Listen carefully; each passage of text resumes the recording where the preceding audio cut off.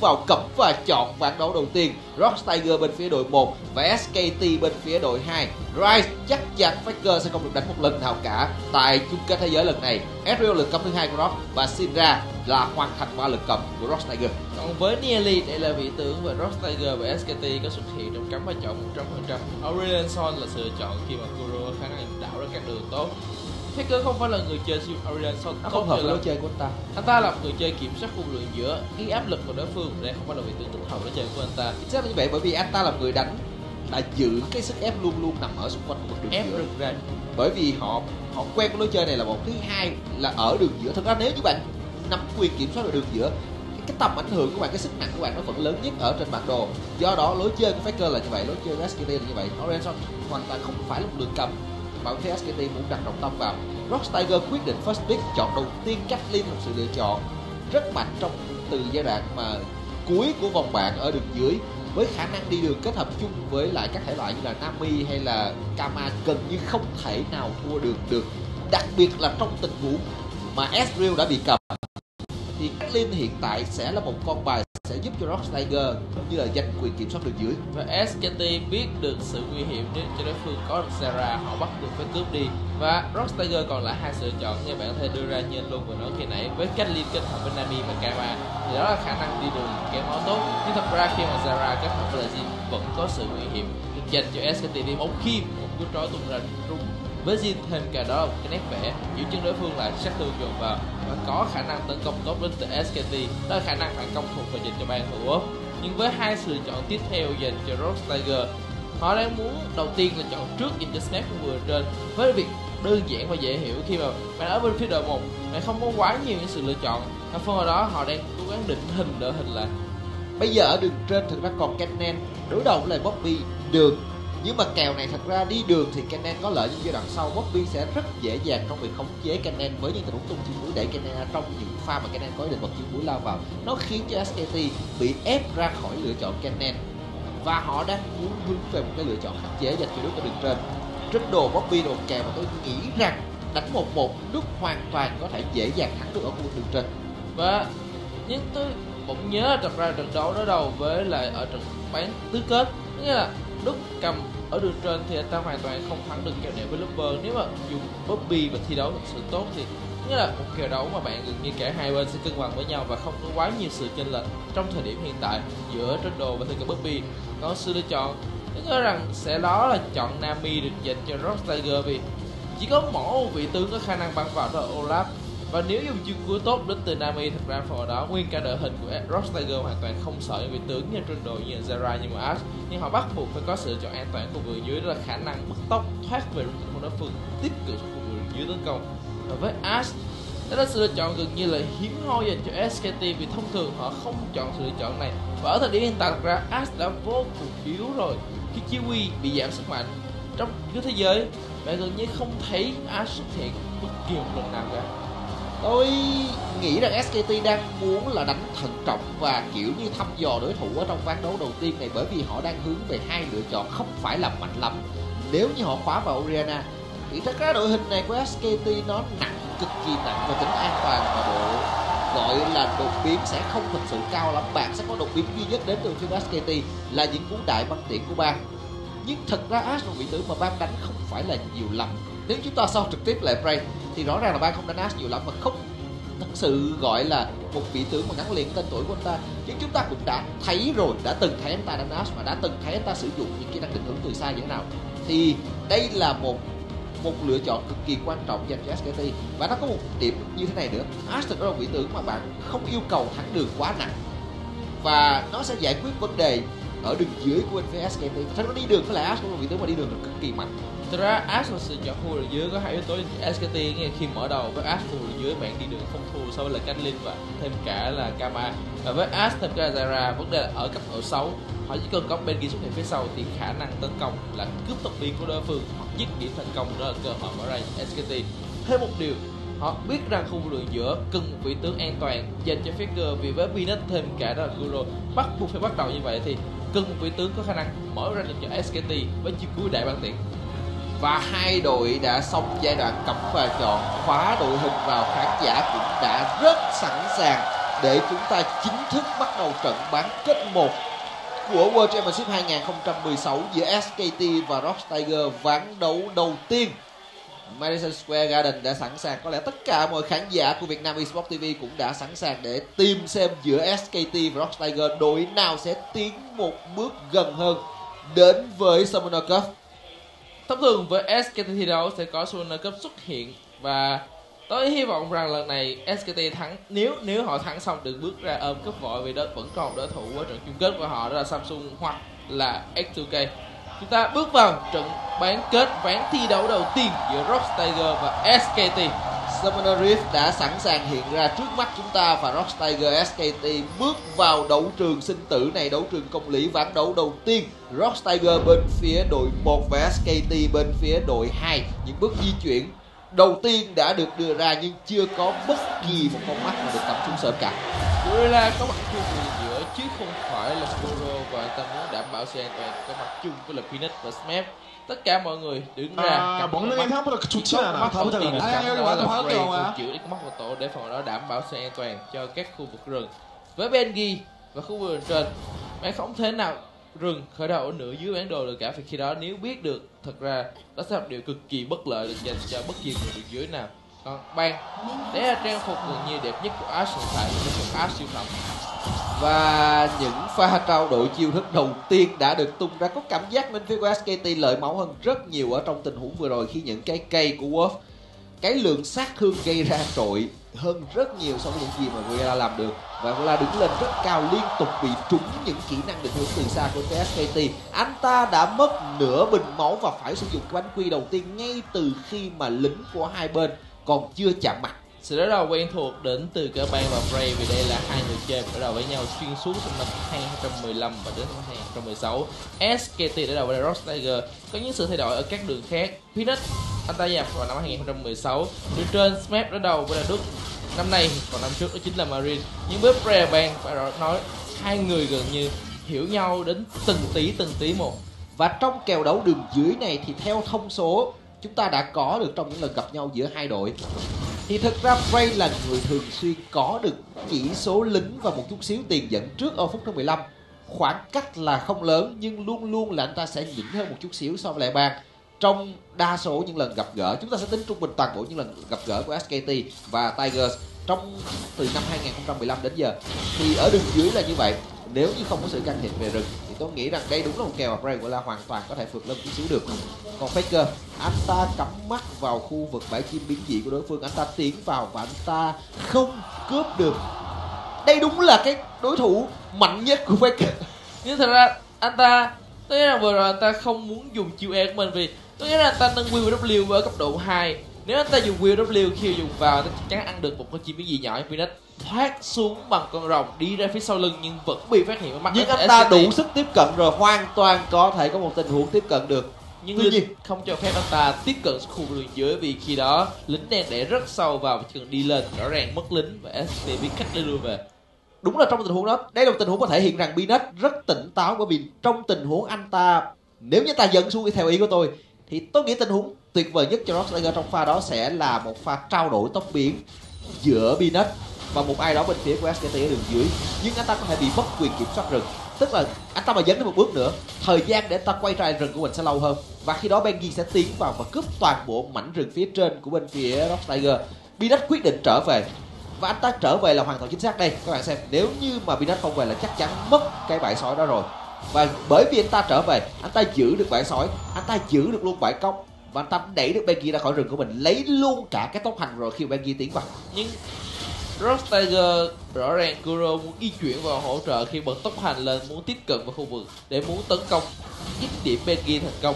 Và đó là tình huống chưa gọi rất chính xác từ cả Peanut khi mà có mặt Smash lên. Nhưng SKT họ biết điều này. Khi Benji di chuyển vào, Đức cũng có mặt kịp thời chặn cục băng thành công vào khu vực đường này. Không phải tự nhiên chọn Ash kết hợp với lại Zara để cặp đôi đi đường khi mà bạn hãy nhìn vào. 27 chỉ số lính của Bray thật ra đây không phải là con số 27 chính xác thật sự vì nó có những chỉ số lính 5 đồng xuất hiện đến từ những cái cây của Zara.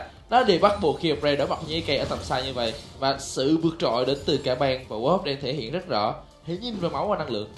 Và đúng là họ đang có một cái khu vực đường dưới tốt khá là nhiều ở trong khoảng chừng 5 phút đầu tiên vừa rồi. Một cái điểm lợi mà chúng ta cũng luôn luôn nhắc tới khi thấy Zera xuất hiện. Đó là những cái cây đó sẽ chặn những kỹ năng định hướng của đối phương, đặc biệt trong những kèo đấu với lại kiểu như là Ezreal và Kama như chúng ta thấy thì những cái cây đó sẽ đem lại cho bạn rất nhiều lợi thế còn vừa rồi thì Bengi tiến vào cướp bảy chim biến dị, cướp gần hết chừa lại con chim biến dị nhỏ. Đó sẽ một bước lùi khá lớn cho Rock và chúng ta biết rằng đối với rừng và đối với những trận đấu mà đường giữa quan trọng, bãi chim biến dị nó sẽ vô cùng quan trọng. Đây chúng ta thấy pha này nếu như mà Binet có cái bùa lợi chim biến dị, anh ta có thể đi ngay ra và ta phá ngay con mắt ở ngay phía bên hông mà bị SKT đặt xuống ở bên phía cánh trái, cánh dưới của đường giữa. Nhưng bởi vì không có cái nội tại đó, con mắt đó tồn tại và Faker có đủ thông tin để biết rằng Binet vừa ở đó. Chính xác là Binet không thể tấn công từ hướng đó và ta đánh rất mạnh mẽ lên. Bởi vì đây là cái pha xử lý chúng ta thấy rằng đơn giản như nó thể hiện được cái bản lĩnh của bên phía các đội tuyển chuyên nghiệp. Họ biết rằng nửa rừng cánh trên đã bị dọn, không còn gì cả, tính đủ thời gian thì chắc chắn Binet không thể nào ở trên cánh trên bản đồ. Chỉ có một hướng duy nhất là cánh dưới và cánh dưới là con mắt. Faker chắc chắn không gặp nguy hiểm. Và thêm cái việc ở khu vực trên, Đức anh ta đã lùi về hoàn toàn. Chẳng có lý do để Binet di chuyển đến khu vực trên tấn công cả. Và khi nửa dưới bản đồ nguy hiểm Ban và Wolf biết được điều này, công việc của họ lùi về. Hoàn toàn có thể để ưng tiện từ Ban để có thể phát hiện tầm nhìn vào rừng của đối phương. Và bây giờ ở khu vực dưới, trao đổi sát thương. Gorilla còn năng lượng, nhưng ta có thể đảm bảo rằng mình an toàn sống sót vào đây hay nhìn lượng máu mất đi. Bạn hoàn toàn không sợ tí nào cả và khi Wolf lui về trong bụi Ray không biết điều này chính xác là như vậy. Đầu tiên là Gorilla rất thấp máu. Thứ hai, bên phía Rock Tiger không có quyền kiểm soát tầm nhìn ở trong hai bụi cỏ ở khu vực đường dưới và họ không nắm được thời điểm lui về của Wolf và họ không gây được sức ép lên Ray nhưng mà cái khoảnh khắc mà bên phía của của bang biết được rằng chắc chắn hỗ trợ của tôi đã về, thì anh ta cũng chẳng dạy gì bước lên cao cả. Hiện tại bên phía của SKT đang thiếu tầm nhìn xung quanh khu vực đường dưới và họ không có đủ thông tin rằng Binat đang ở đâu, cho nên ban lui nhẹ về. Binat vừa lộ diện là được trên một cái Bengi và Wolf có ngay một pha di chuyển tiến vào cắm mắt trong rừng đối phương. Và cái nội tại chi biến diệt bên ghi vẫn còn đó khi xuất hiện con mắt. Và giờ trừng phạt của anh ta tiếp tục vẫn còn một lần nữa đi di chuyển qua rừng của đối phương khu vực trên này. Đúc có thoát hướng này hay không? Đúc né được chán nhận anh ta vẫn còn chiều cuối. Anh ta không bị làm choáng bởi cú ủi vai của smash. Anh ta chắc chắn là chống được pha tấn công này. Nhưng ba người thì làm câu chuyện khác. Chiều cuối kuro và cộng với tất cả mọi kỹ năng của kuro đều không trúng. Đúc vẫn phải tốc biến đi vì nó đã hết năng lượng và không có chiến công đầu dành cho Rock Tiger và điều quan trọng nhất chính là cú quét e tiên chiến chống không chính xác đến từ Kuro nó khiến cho lượng sát thương không đủ và Smep thêm cả Luminet không thể nào truy đuổi thành công được cả. Anh ta chẳng trúng bất kỳ một cái kỹ năng nào trong tình huống rồi, tôi không tính cái quyền. Bởi vì trường trọng lực cũng hụt chiêu cuối hụt e không trúng ra đường giữa trở lại thì làm choáng được Faker với trường trọng lực. Và khu vực trên thật ra khi nhìn vào sự hỗ trợ từ cả Peanut và Kuro để khiến cho Snap có lính nhiều hơn rất nhiều so với đốt nhưng khoan đã Peanut anh ta đang bị thiệt hại hoàn toàn vào đây tạm biệt. Rất bình tĩnh nhưng anh ta vẫn có người ở đây nhưng chắc chắn là SKT không sợ bùa đỏ bùa đỏ thuộc về Wolf. Peanut đang phải bỏ chạy và đại băng tiện bắn tên rất tiếc không trúng ai cả. Tất cả mọi người đều thoát về được. Kuro cũng thoát về được sau khi Faker dùng chiêu cuối quấy rối ở khu vực đường giữa, nhưng anh ta đang thua được. Và đường đang đẩy vào rất cao như vậy thì nếu trượt nhất khu vực đường giữa, lượng tiền thuộc về Faker thì tôi không hình dung Rakuro sẽ sống sót được như thế nào khu vực đường giữa được. Vì khi anh ta lên khu vực trên, anh ta mất chiêu cuối, anh ta mất đi năng lượng rất nhiều, không còn khả năng dọn lính. Và 50 so với là 72 đó là khoảng cách khá lớn được dành cho Kuro. Khi đó là vị tướng mà anh ta thi đấu tốt nhất trong suốt năm 2015 và 16 tôi rất hy vọng rằng cái pha xử lý vừa rồi của Rock Tiger nó chỉ là một tình huống hiếm hoi mà họ xử lý không tốt. Tôi đang rất sợ rằng cái kịch bản cũ lặp lại là họ gặp quá nhiều vấn đề mặt tâm lý mỗi khi thi đấu với lại SKT bởi vì tất cả mọi kỹ năng của Rock Tiger không chỉ là Kuro mà trước đó cả Binet lẫn Smep hai tình huống để có cơ hội làm choáng, họ đều không thành công để tấn công vào Đức Đức đó đồng ý với chương cuối, nhưng bởi vì cách lên trang bị của anh ta anh ta mà dính bất kỳ một CC nào trong tình huống vừa rồi ở khu vực đường trên là anh ta sẽ phải nằm xuống nhưng chẳng có một kỹ năng CC nào của Infinite Tiger và cả sát thương trúng trong tình huống đó cả. Tôi nghĩ rằng đầu tiên là sự kết hợp khi mà Smash anh ta không muốn chống chịu sát thương của trụ đầu tiên, anh ta không dám dùng chiêu cuối trước. Vì khi đó, chắc chắn đốt dùng chiêu cuối vào người anh ta và anh ta bắt buộc phải đi lưu ra, không gây sát thương được. Người chống chịu phải là Phoenix và phải tung kiến nhận thành công chính xác. Nó đòi hỏi Phoenix cao hơn rất nhiều so với việc là Smash phải triển khai đầu tiên. Nên, tức nói là khó cặp đôi này. Và vừa rồi cái khoảng cách chênh lệch một ngàn tiền sau khoảng gần 10 phút thi đấu thì nó nằm đặt rất nặng về đường giữa khu vực rừng. Đó là cặp đôi đã hai lần cái thế giới. Thế ra họ chẳng làm gì cả. Các việc bên ghi là xuất hiện xung quanh khu vực đường giữa và xuống khu vực đường dưới đảm bảo rằng các đường của SKT sẽ không thua so với đối phương. Và 88 lính của Faker ta hơn đối phương 500 tiền. 54 lính so với lại 31 Phoenix Bengi nó chẳng cần phải làm gì cả nhưng anh ta hoàn toàn có thể đi vào được đối phương. Kiểm soát xem Phoenix đang ở đâu trên bản đồ và hỗ trợ các đường biết được rằng đảm bảo an toàn. Đấy là lý do tại sao Benki rất được Koma và nói chung ban lãnh đạo của SKT trọng dụng mỗi khi mà họ phải đối mặt với những đội có mà cái cái thể loại rừng tấn công như là Binet bởi vì lối chơi gần như là khắc dễ và chúng ta thấy, nói là anh ta không làm gì thực ra không đúng anh ta làm rất nhiều. Anh ta luôn luôn có được cái vị trí đối lập so với lại Binet và mỗi bước đi của Binet đều bị phản công từ bên phía của SKT và mỗi lần mà Binet tấn công mà không thành công là thiệt hại gấp đôi, không chỉ mất thời gian mà mất hoàn toàn quyền kiểm soát rừng. Chắc là anh hảo muốn chỉ cái pha di chuyển rồi là là là kiểu như là signature của Bengi là tôi làm gì không biết, tôi sẽ tạt ngang qua đường giữa một cái, lộ diện ném nhẹ cái rìu. Báo cho các bạn biết rằng tôi đứng xung quanh Faker. Nhưng mà tôi không ăn kinh nghiệm của Faker. Và khi đợt lính di chuyển ra tôi đã xuất hiện mất đi hoàn toàn khu vực giữa. Nghĩa là tôi cho các bạn thấy tôi đang ở đâu trên bản đồ. Nhưng các bạn thật ra chẳng, Chẳng làm được gì tôi cả. đúng chính xác là như vậy. chẳng làm được gì còn cả ở các đường còn lại thật ra khu vực trên khi mà Đức mặc dù đang thua con số khoảng hơn 10 lính nhưng vấn đề với khả năng những lính tốt đến từ trên đồ đó không phải là điều thiệt hại dành cho Đức và khả năng để đường tốt đến từ SKT thì cái khoảng cách về sau Đức hoàn toàn có thể gỡ ngược lại được. Ù. còn Phoenix bây giờ ta đứng trên mắt của đối phương Binet on tiêu rồi. Và Rock Tiger họ mà không thành công pha này À. là gãy lắm. Họ gãy thật rồi chẳng có bất kỳ cái gì trúng trong pha vừa rồi cả. Và nó trật vuột hoàn toàn. Nó khởi đầu từ pha mà Binet cắm mắt tím vào bụi và không nhìn thấy con mắt của SKT trong đó là một. Nó tiếp tục dẫn đến pha. Hoàn toàn trật vuột của Rock Tiger. Và Peanut anh ta cứ ngỡ rằng Faker đúng thật sự thần thánh với cách xử lý của anh ta vừa rồi. Vì cú tốc biến kiến nhận ra tận tầm phía sau. Nó nghĩ rằng Faker sẽ cố gắng dùng W của mình lùi về tốc biến người trở về trụ để đảm bảo sự an toàn nhưng không Smep, Faker nhưng mà Smep lại đẩy về phía sau luôn. Và Smep đi về phía sau thật ra đâu cách thông thường khi mà bạn đã dùng Puppy bạn có mặt từ phía sau rồi. Nhưng bây giờ như vậy thì đừng dùng kén nhện. Chính xác hãy để đợi. cho Smep hoặc là Smep tốc biến dùng chiêu cuối của mình giữ Faker lại một vị trí và sau đó Binet mới tiến vào và trường động lực sẽ được dùng ở trong tình huống đó. Tan nát rồi. Và vì Peanut ta đã dùng kiến nhện rồi nên Smith không thể nào truy đuổi nữa. Vì nếu truy đuổi thành công, chỉ còn đúng mỗi kiến nhện Peanut giữ lại và anh ta phải giữ để gây sức ép vào Faker thành công và bây giờ đến lượt Bengi ra. Thật ra Bengi đi ra đây. Công việc của anh ta Ăn không trụ. phải là tấn công Kuro, công việc của anh ta là có mặt để đảm bảo cho Faker không mất máu và người mất máu sẽ chỉ là Bengi mà thôi. rõ ràng là Rock Tiger họ vẫn bị nặng tâm lý quá mỗi khi đánh với lại SKT rất tiếc là điều này lại xảy ra một lần nữa và tôi muốn nói rằng trong các cặp đấu đại băng tiện bắn ra khu vực đường giữa, có cảm giác như nó sẽ không trúng một ai cả. Bắn ngay trên lưng của Bengi để cộng một cái đại bằng tiện bây giờ đến và Rock Tiger đang muốn phản công. Không có Snap đang tiến tới. Snap không có tốc biến nhưng Faker Faker bị ủi dính từ chiến công đầu dành cho Rock Tiger. Benji đang bật chiều cuối nhưng chỉ để bỏ chạy mà thôi. Anh ta đang cố gắng chạy bị Snap hất lên và anh ta nằm xuống hai điểm hạ gục cho Rock Tiger. Và cơ hội cho họ khi con rồng đầu tiên của đấu nó thuộc về con rồng lửa và cái lượng sát thương gia tăng và để làm điều. Một pha thiết lập cực kỳ tốt đến từ Ross Tiger khi họ có dịch chuyển dành cho Snap vượt trội hoàn toàn so với Đức khi mà anh ta phải di chuyển từ khu vực trên xuống khu vực đường giữa. Ý đồ rất rõ ràng, trong tình huống ăn cái trụ thứ nhất khu vực đường giữa, nhưng Ross Tiger với việc nổi tiếng trong khả năng thiết lập những pha tranh và khi mà không có tốc biến, chọn mục tiêu thích hợp đó là Faker dứt điểm ngay tức để không cho Faker có cơ hội tung chiêu cuối. Và điều quan trọng đó chính là ban đã không còn đại băng tiện đó là một pha giao tranh cực kỳ tốt của Rock Tiger. Họ chủ động hơn với con mắt cắm ở giữa và họ đã tận dụng cực kỳ tốt pha đánh ở đường giữa đó. Họ có được tất cả mọi thứ. Và cuối cùng thì tôi nghĩ là người hâm mộ của Rock đã có thể yên tâm. Họ đã giải quyết xong vấn đề tâm lý. Rock đã có được điều mà họ rất muốn có và họ đang bị tấn công. Kuro bị xoáy bởi Faker đặt trường trọng lực chạy về phía trụ của mình. Liên tục cố gắng né. Peanut đã tới kén nhận không trúng.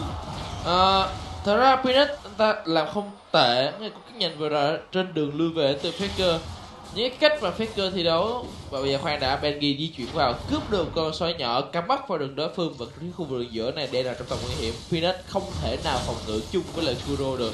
Sức ép vẫn là quá nhiều.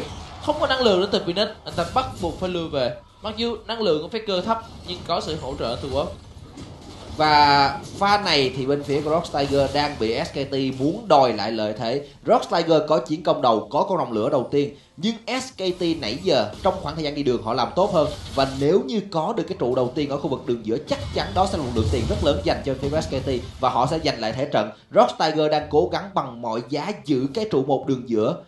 Nhưng Kuro tình huống này là anh ta ra không kịp rồi, ba phát đánh thường nữa đến từ Faker là đủ và lưỡi tiền nó thuộc hoàn toàn về Faker bây giờ cái khoảng cách chênh lệch 20 lính tạo ra. Mặc dù có yếu cũng thuộc về Guru cái khoảng cách khi mà bạn có điểm hạ gục nó không thể nào cân bằng qua là trụ đầu tiên khu vực giữa được cả.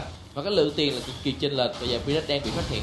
Và anh ta bị trỗi lại, anh ta bị hất tung lên, không không, anh ta đánh đu lên. Anh ta cố gắng né, anh ta đang bỏ chạy. Benji bật chiều cuối, nhưng không thể tiến lại được nữa. Phía bên này, Gorilla đang bị giữ. Và Wolf đang ôm cầu, nhưng không xoáy trúng từ vị trí của Faker Gorilla bị giữ lại. Đút có mặt ở đây, một phát đánh thương nữa. Và đã nằm xuống điểm hai gục đầu tiên dành cho SKT Đức có mặt từ phía sau hỗ trợ chung với lại Wolf và điều quan trọng chính là hai lần trở của Wolf đều thành công và là có đại băng tiễn kèm theo. Cú chiêu cười đến từ Faker khi mà có qua cầu gắn với người Wolf rất nhanh chóng Gorilla người ta tung kịp thời của tốc biến mình để thoát đi, nhưng không thể nào né được hai lần quy chân lại đến từ cái trói chân và Wolf đã giúp đỡ cho Đức có được điểm cầu đầu tiên. Hôm đây tình huống của Phoenix từ nãy giờ trong cả một ván đấu, anh ta gần như không làm được gì quá nhiều với tình huống cố gắng tạo sức ép cả đơn giản nhất chúng ta có thể nói đó là Binet luôn luôn di chuyển ở trên tầm nhìn của SKT và anh ta không đem lại được bất kỳ một yếu tố bất ngờ nào cả. Yếu tố bất ngờ duy nhất mà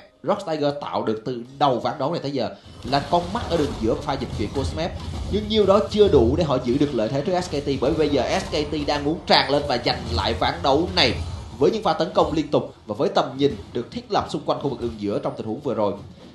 Bây giờ thì Rock Tiger công việc của họ tương đối là nặng đề. Cụ thể là Binet và Gorilla phải bằng mọi cách giữ được lượng tầm nhìn trong khu vực rừng của mình. Họ đang làm được điều đó ở cánh trên bản đồ. Và do đó nó cho phép Smep giữ được lợi thế ở khu vực đường trên. Lợi thế mặt đi đường của ta đang được giữ trước đúc. Và đó là nơi mà Binet cũng muốn tấn công bởi vì anh ta biết được rằng mình không bị lộ tầm nhìn trong tình huống di chuyển vừa rồi và khi mà cái trục nhất khu vực giữa không còn Cross Tiger thì có thể nhìn Faker anh ta di chuyển. Nhưng vừa rồi đi ngang cái thấu kính như anh ta không phát hiện ra, đó là tình huống hồi đó Faker bị phát hiện và anh ta vẫn chưa thể nào phá được con mắt thấu kính trước cái bộ di chuyển ra. Nhưng vấn đề là cái sức ép cực kỳ lớn dành cho các đường khác.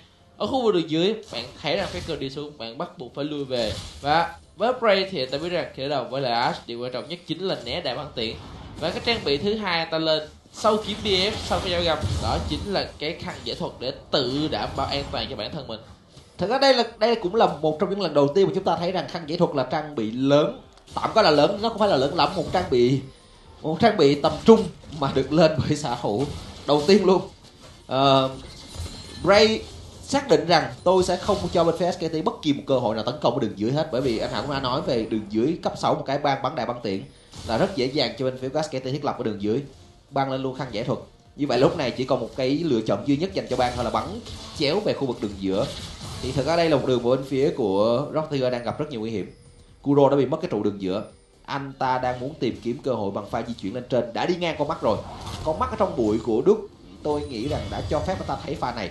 Nhưng liệu thấy là một chuyện giữ được trụ không là một chuyện khác khi mà đối phương hoàn toàn không có ý định ăn người họ muốn lấy trụ. Và tình huống xử lý tốt từ Kuro khi mà đẩy lính với việc nâng cấp ba lần công nghệ ta có mặt khu vườn trên sớm mới đã có giày bạc và được chuyển lên khá cao.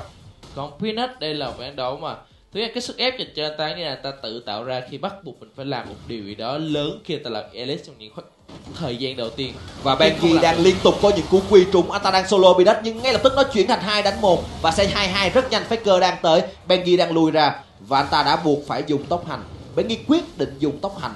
Tôi nghĩ là hoàn toàn chính xác chiêu cuối của Olaf vẫn quan trọng ở cái tốc hành trong tình huống rồi. Anh ta không dùng chiêu cuối mà dùng tốc hành để thoát đi. Để sẵn sàng cho pha giao tranh rồng sắp tới 25 giây nữa con rồng lửa thứ hai ra. Và với việc là Rock Tiger là đội có con rồng lửa đầu tiên, họ sẽ dồn tất cả mọi thứ vào tình huống giao tranh rồng này. Và tôi cực kỳ thích con rồng lửa thứ hai của ban đấu khi mà nếu dành cho một đội với việc hai rồng lửa thì cái sự chênh lệch. Phải nói rằng, đó là con số khoảng cách 2 đến 3 ngàn tiền bạn gia tăng dần theo thời gian, vì cái khoảng cách đó là phần trăm theo lượng sát thương và thêm cả sự kỹ thuật thì khi đó bạn có lên mỗi trang bị. Thì phải nói rằng cái lượng sát thương mình được gia tăng lên rất nhiều. Bây giờ con rồng lửa sẵn sàng. Cú trói cú trói thành công. Wolf tung luôn chiêu cuối muốn lấy hỗ trợ đối phương. Ta tốc biến né khỏi kén nhện. Rồng vẫn đang bị tấn công bởi Bengi và Faker. Kuro quyết định đi về. Kuro phải quay ngược lại không thể nào về trong tình huống này được. Rồng này rất quan trọng. Kuro đang cầm tiền và chưa được xài cho pha giao tranh rồng này và không wow Peanut bị bắt. Anh ta đu vào người của bạn anh ta cố kén nhện thành công. Dịch chuyển đến từ nước từ phía sau. Peanut đã bị bắt và Peanut có thể sẽ phải nằm xuống. Con rồng lửa thứ hai nằm trong tay của SKT rồi. Faker đặt cầu ra đại băng tiện bắn. Nó không trúng ai cả cú xoáy của Faker cũng không trúng ai cả. Smep đang phải lùi về. Anh ta bị giữ lại liên tục. Anh ta thoát được nhưng đồng đội của anh ta là Ray thì đã phải nằm xuống. 5 đánh 1 à 5 đánh 2 có trụ có Kuro tới. Faker hết chiêu Faker đã phải nằm xuống. Và cả Bengi cũng như vậy. Double kill dành cho Smep và Kuro đang tiến lên. Anh biến nhưng cú rải tia chết chóc lại không thực sự tốt lắm. Và Rock Tiger, họ có được hai điểm hạ gục, nhưng họ mất cái trụ đường dưới. Họ mất trụ đường dưới, họ mất ba người, còn SKT chỉ mất đi hai người mà thôi. Và đó là tình huống khởi đầu. Tôi thấy cảm giác cái đường đi của Phoenix anh ta hoàn toàn không tốt tí nào cả. Nó nên đi lui về về hướng bên trái ở bụi cỏ chặt ba. Rút lui cùng với là Brand và Gorilla đấy là thế mà không thể nào rút lui được đến từ cả Brian và rồi. Khi mà Faker ta biết rằng mình còn tốc biến, mình tốc biến là những điểm thành công xạ thật của đối phương. Nhưng Smap với khả năng chống chịu tốt, và khi mà lui về chung với lại Kuro ban cộng với lại cả đức không thể nào chống chịu thành công được nữa. Và khi đó, hai điểm hạ gục thuộc về Smap điểm quan trọng chính là chiếc điểm thành công được bên ghi với lợi thế, phần ở đó, ít nhất là khiến cho SKT không thể nào ăn được con rồng thứ hai của ban đầu. còn với tình huống xử lý vừa rồi nó vẫn thiếu một chút gì đó đến từ Kuro. Ừ. lẽ ra với cái danh hiệu mà một trong những người chơi Victor tốt nhất thế giới thì ta phải làm tốt hơn trong round rồi. Cái cú tốc biến lên vét e đó nó nó lẽ ra nó phải nhạy cảm hơn là đi hướng đường về của đối phương. Pha giao tranh rồng đó này đã. Phoenix ta bị lọt thở vào giữa hang rồi. Và ta đang ở trong đó Benji đã bật chiêu cuối. Anh ta đang quay ra tấn công Snap. Rồng vẫn còn khá nhiều máu. Snap chịu không nổi sát thương đã bị tắt điện bởi bang và rồng rồng thuộc về Rock Tiger. Binet đánh đu lên ta đu được vào con mắt. Tại sao lại có con mắt giúp cho Binet thoát đi như vậy? Wop ơi là Wop nếu không có con mắt đó chắc chắn Phoenix nằm xuống và sức ép ở khu vực Hammeron là cực kỳ lớn dành cho Rock Tiger khi họ mất đi hai người. Bán đồ rất nhiều rất nhiều năng lượng. Nhưng nếu uh... rõ ràng thật ra sẽ chẳng có cách nào dành cho Phoenix biến lên khu vực đường và Warp. Anh ta tung ra hai pha xử lý rất tệ trong tình huống vừa rồi và anh ta nằm xuống đem lại điểm hạ gục thứ năm dành cho Rock Tiger mọi thứ bây giờ thế trận thực ra tôi đang muốn nói nó đang khá là cân bằng SKT dẫn trước khoảng chừng 2.000 tỷ. Uh, Faker có một tình huống hạ gục ngay lập tức hỗ trợ của đối phương. Và khi mà Kuro đưa ra câu trả lời dành cho Wolf. Tấn công dứt điểm thành công Wolf hãy nhìn xem lại pha thi đấu vừa rồi. Đó là tình huống mà SKT họ biết rằng Phoenix đang chịu sát thương của rồng. Không thể nào dứt điểm với nhanh chóng cả và họ, với việc đó là con số 4 người. Tấn công dứt điểm, dùng hết mọi sát thương vào. Vì biết rằng lượng năng lượng hiện tại của rồng không nhiều. Nhưng nhìn đây là tình huống mà tại sao lại cắm con mắt lên cái đối phương lui về dễ dàng như vậy mà mất luôn cái chiêu cuối? Rất khó hiểu. Chẳng có bất kỳ tác dụng của con mắt đó cả việc bạn chỉ cần có được một điểm hạ gục bạn dứt điểm thành công được Peanut mà thôi. Và wow. và chúng ta có một pha giao tranh mà Faker anh ta không không tung chiêu cuối trong tình huống đó. Anh ta không làm được gì mà ta bị khép các vào những cái bẫy từ Katalin và khi đó ta đứng ở phía ngoài và anh ta bị chặn hoàn toàn. Bây giờ Bengi đi tìm Kuro. Và anh ta quy cú đầu tiên trúng cú trói của Wolf rất tiếc lại không trúng. Và tỷ số điểm hạ gục là 5-6 tôi đã muốn nói là trận đấu này ván đấu này đang khá là cân bằng. SKT dẫn tiền khoảng chừng 3 ngàn 3001 32 nhưng mà Rock Tiger có được hai con rồng lửa, hai rồng lửa. Và con rồng thứ ba cũng là một con rồng lửa. Ba rồng lửa là một lượng sức mạnh cực kỳ cực kỳ lớn. 24% sát thương vật lý và sức mạnh sẽ được cộng thêm khi bạn có được con rồng lửa thứ ba. Và phải nói rằng với những vị tướng tôi vẫn tin vào đội hình Cross Tiger với khả năng kéo dài trận đấu, sức mạnh của họ sẽ cao hơn rất nhiều vì cái tầm xa đến từ cả Victor lẫn Kathleen nhỉnh hơn hoàn toàn so với là Ash và thêm cả. Đó là Oriana và cái khả năng chống chịu. Bobby vẫn nhỉnh hơn rất nhiều so với là Trundle trong một tình huống tranh kéo dài. Thì cái sức mạnh của họ, mặc dù họ biết rằng khoảng cách về tiền đối phương sẽ dẫn hơn vì nhìn vào lính ở khu vực đường trên đuốt hơn khu vực đường giữa tương tự như vậy và đặc biệt là cả rừng. Những vấn đề quan trọng của Rock Tiger, họ đang cố gắng di chuyển bản đồ kiểm soát phòng ngự mà thôi nhưng sẽ có một số vấn đề như này chúng ta sẽ nhìn theo hai hướng. Ví dụ như ở khu vực đường trên. À, lúc này thực ra đã đủ để cho Đức thắng trong những tình huống 1-1 ở đường cảnh thì nó sẽ khiến cho Smap tức là lợi thế của Smap cộng với lại Rock Tiger chắc chắn là khả năng kết hợp với nhau tốt hơn. Những tình huống dịch chuyển những tình huống chuẩn bị cho những pha giao tranh từ những con mắt cấm của Rock Tiger chắc chắn là tốt hơn so với gì mà có thể làm với đại Đức. Nhưng nó sẽ bị khắc chế bởi cái cái điểm là hiện tại Đức đang tạo được nhiều sức ép hơn ở đường cảnh thì những pha của Rock Tiger nó sẽ hơi bị gượng ép một chút xíu. Tức là họ phải mỗi khi mà họ cảm nhận có cơ hội họ phải làm ngay.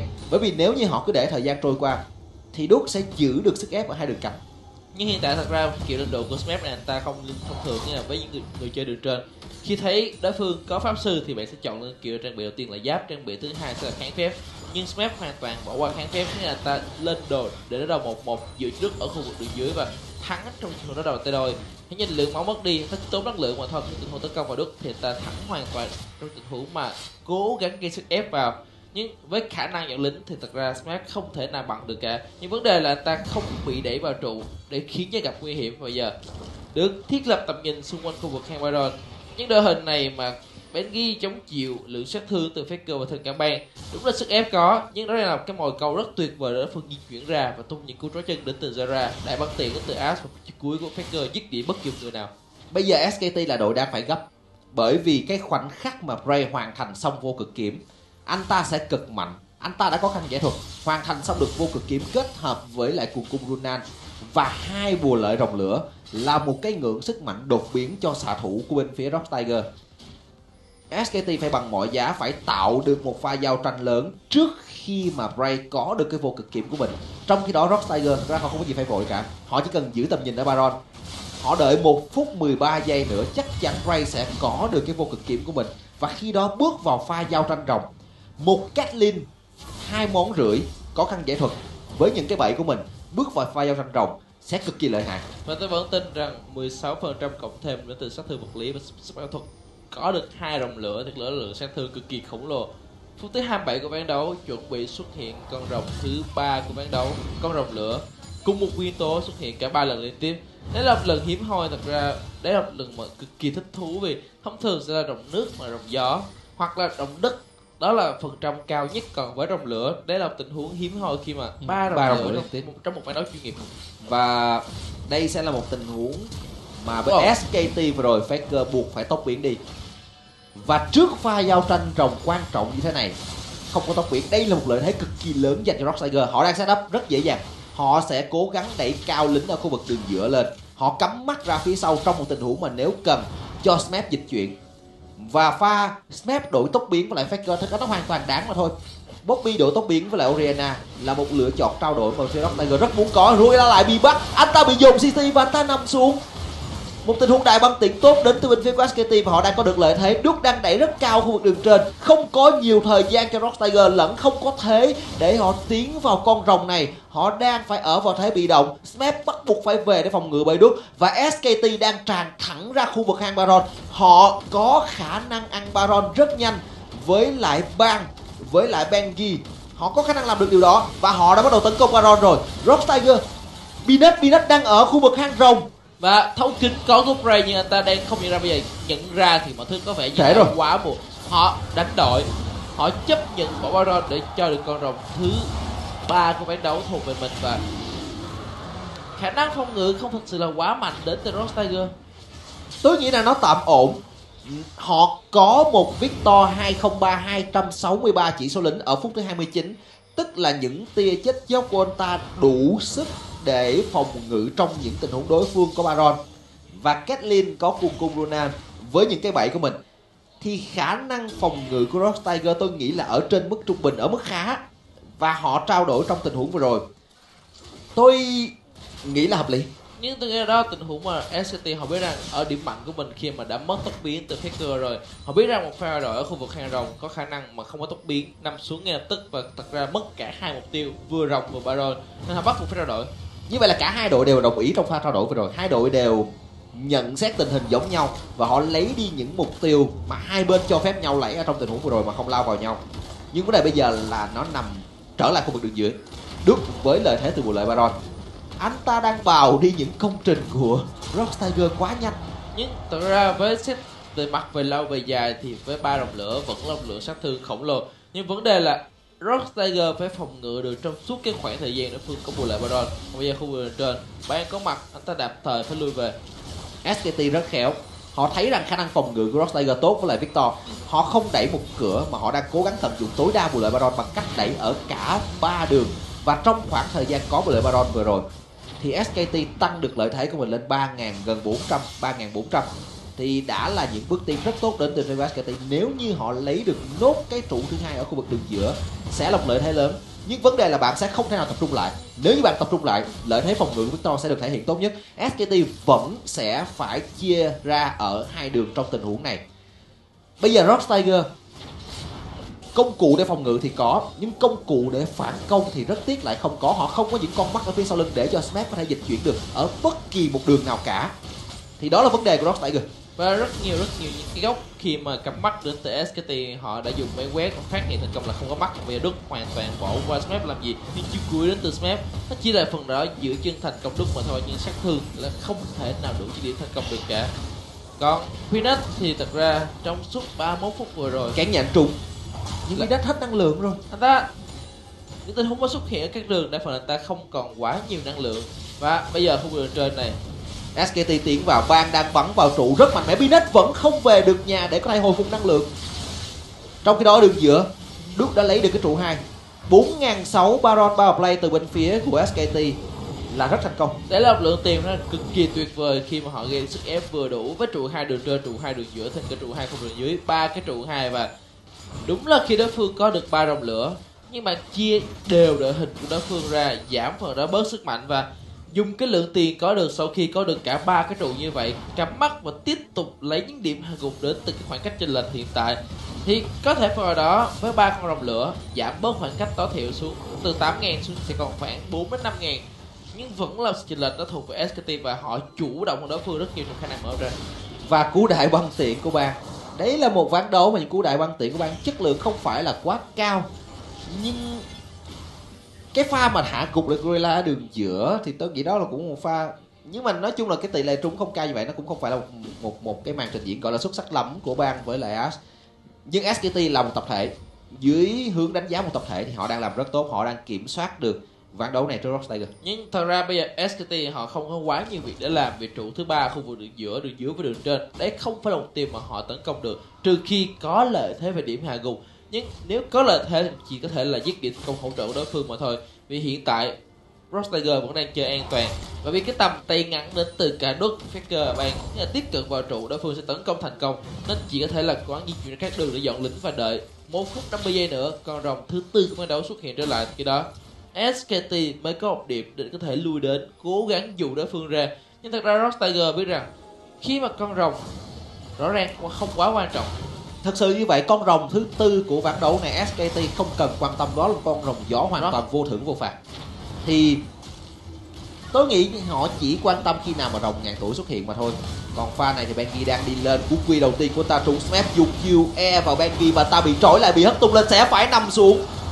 Và đó là điểm hạ gục cực kỳ quan trọng. Rock Tiger mất đi vị trí chống chịu duy nhất của mình. Và họ có nguy cơ bị mất một đường trong pha đẩy này của SKT và thật ra bạn hãy cảm nhận là Peanut đang không có bất kỳ một tác dụng đối với những cái nhận của anh ta cả. Thật sự là một sức ép lớn và sau ván đấu này dù thắng hay thua pha vẫn phải làm điều đó Peanut vì cái tâm lý thi đấu của ta hiện tại bạn hãy nhìn cách mà ta ra đường. Không bao giờ còn quá nhiều năng lượng cả và kiếm nhận tung ra đó là vô thưởng vô phạt. Cú đại băng tiền trúng wow. vào là Bray ngay lập tức khăn giải thuật cực kỳ tốt không bị làm choáng bất kỳ một khoảnh khắc nào cả. Nhưng thật ra pha đó ta chỉ để tay sẵn để tay sẵn đúng rồi. Bởi vì có mắt phía ngoài có tầm nhìn và ta đã quá quen thuộc với là Ash rồi. Khi trúng vào và ra khi nhìn vào cái hiệu ứng trên người thì bấm ngay tức bấm ngay. Nhiều khi có cái hiệu ứng vào trên mắt nó chuyển xuống tài cái là vừa làm choáng là không còn làm choáng nữa. Và đặc biệt là thi đấu uh, cho những giải đấu chính thức của Riot thì là pin nó chỉ khoảng chừng uh, tám. sáu. À, à, tám hơi cao tại mình. Nhiều khi là bốn hoặc là hai cũng được. Thì uh, nếu tôi nhớ không lầm thì thậm chí họ có thể đánh server offline luôn. Tức là hoàn toàn có thể đánh ở binh một ờ, bên một không bên thì ghê quá không phải ngồi đánh cái server à, thì tức là nó cho phép bạn thực hiện cái tình huống đó khá là dễ dàng.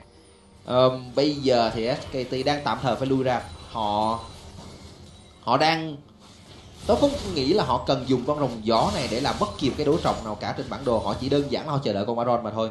Và trong khoảng chờ đợi con Baron này công việc của SKT bây giờ muốn kiểm soát ván đấu rất dễ. Chỉ cần đảm bảo rằng không có bất kỳ một con mắt nào phía sau lưng của mình hiện thời hãy nhìn sơ qua trên bản đồ Rock Tiger có những con mắt nào đáng chú ý. Có một con mắt ở trong khu vực bãi kim biến dị. Nếu như SKT chọn đẩy đường giữa đường giữa thì đó là một con mắt khá là hiểm mà Rock Tiger có thể tận dụng để cho Smith có thể tập hậu được. Và SKT thì họ dứt điểm cơ rồng thứ tư của ban đấu đơn giản đối phương ăn không cho ăn mà thôi. Để ra rồng càng tốt. tốt. và cái tốc độ di chuyển được gia tăng.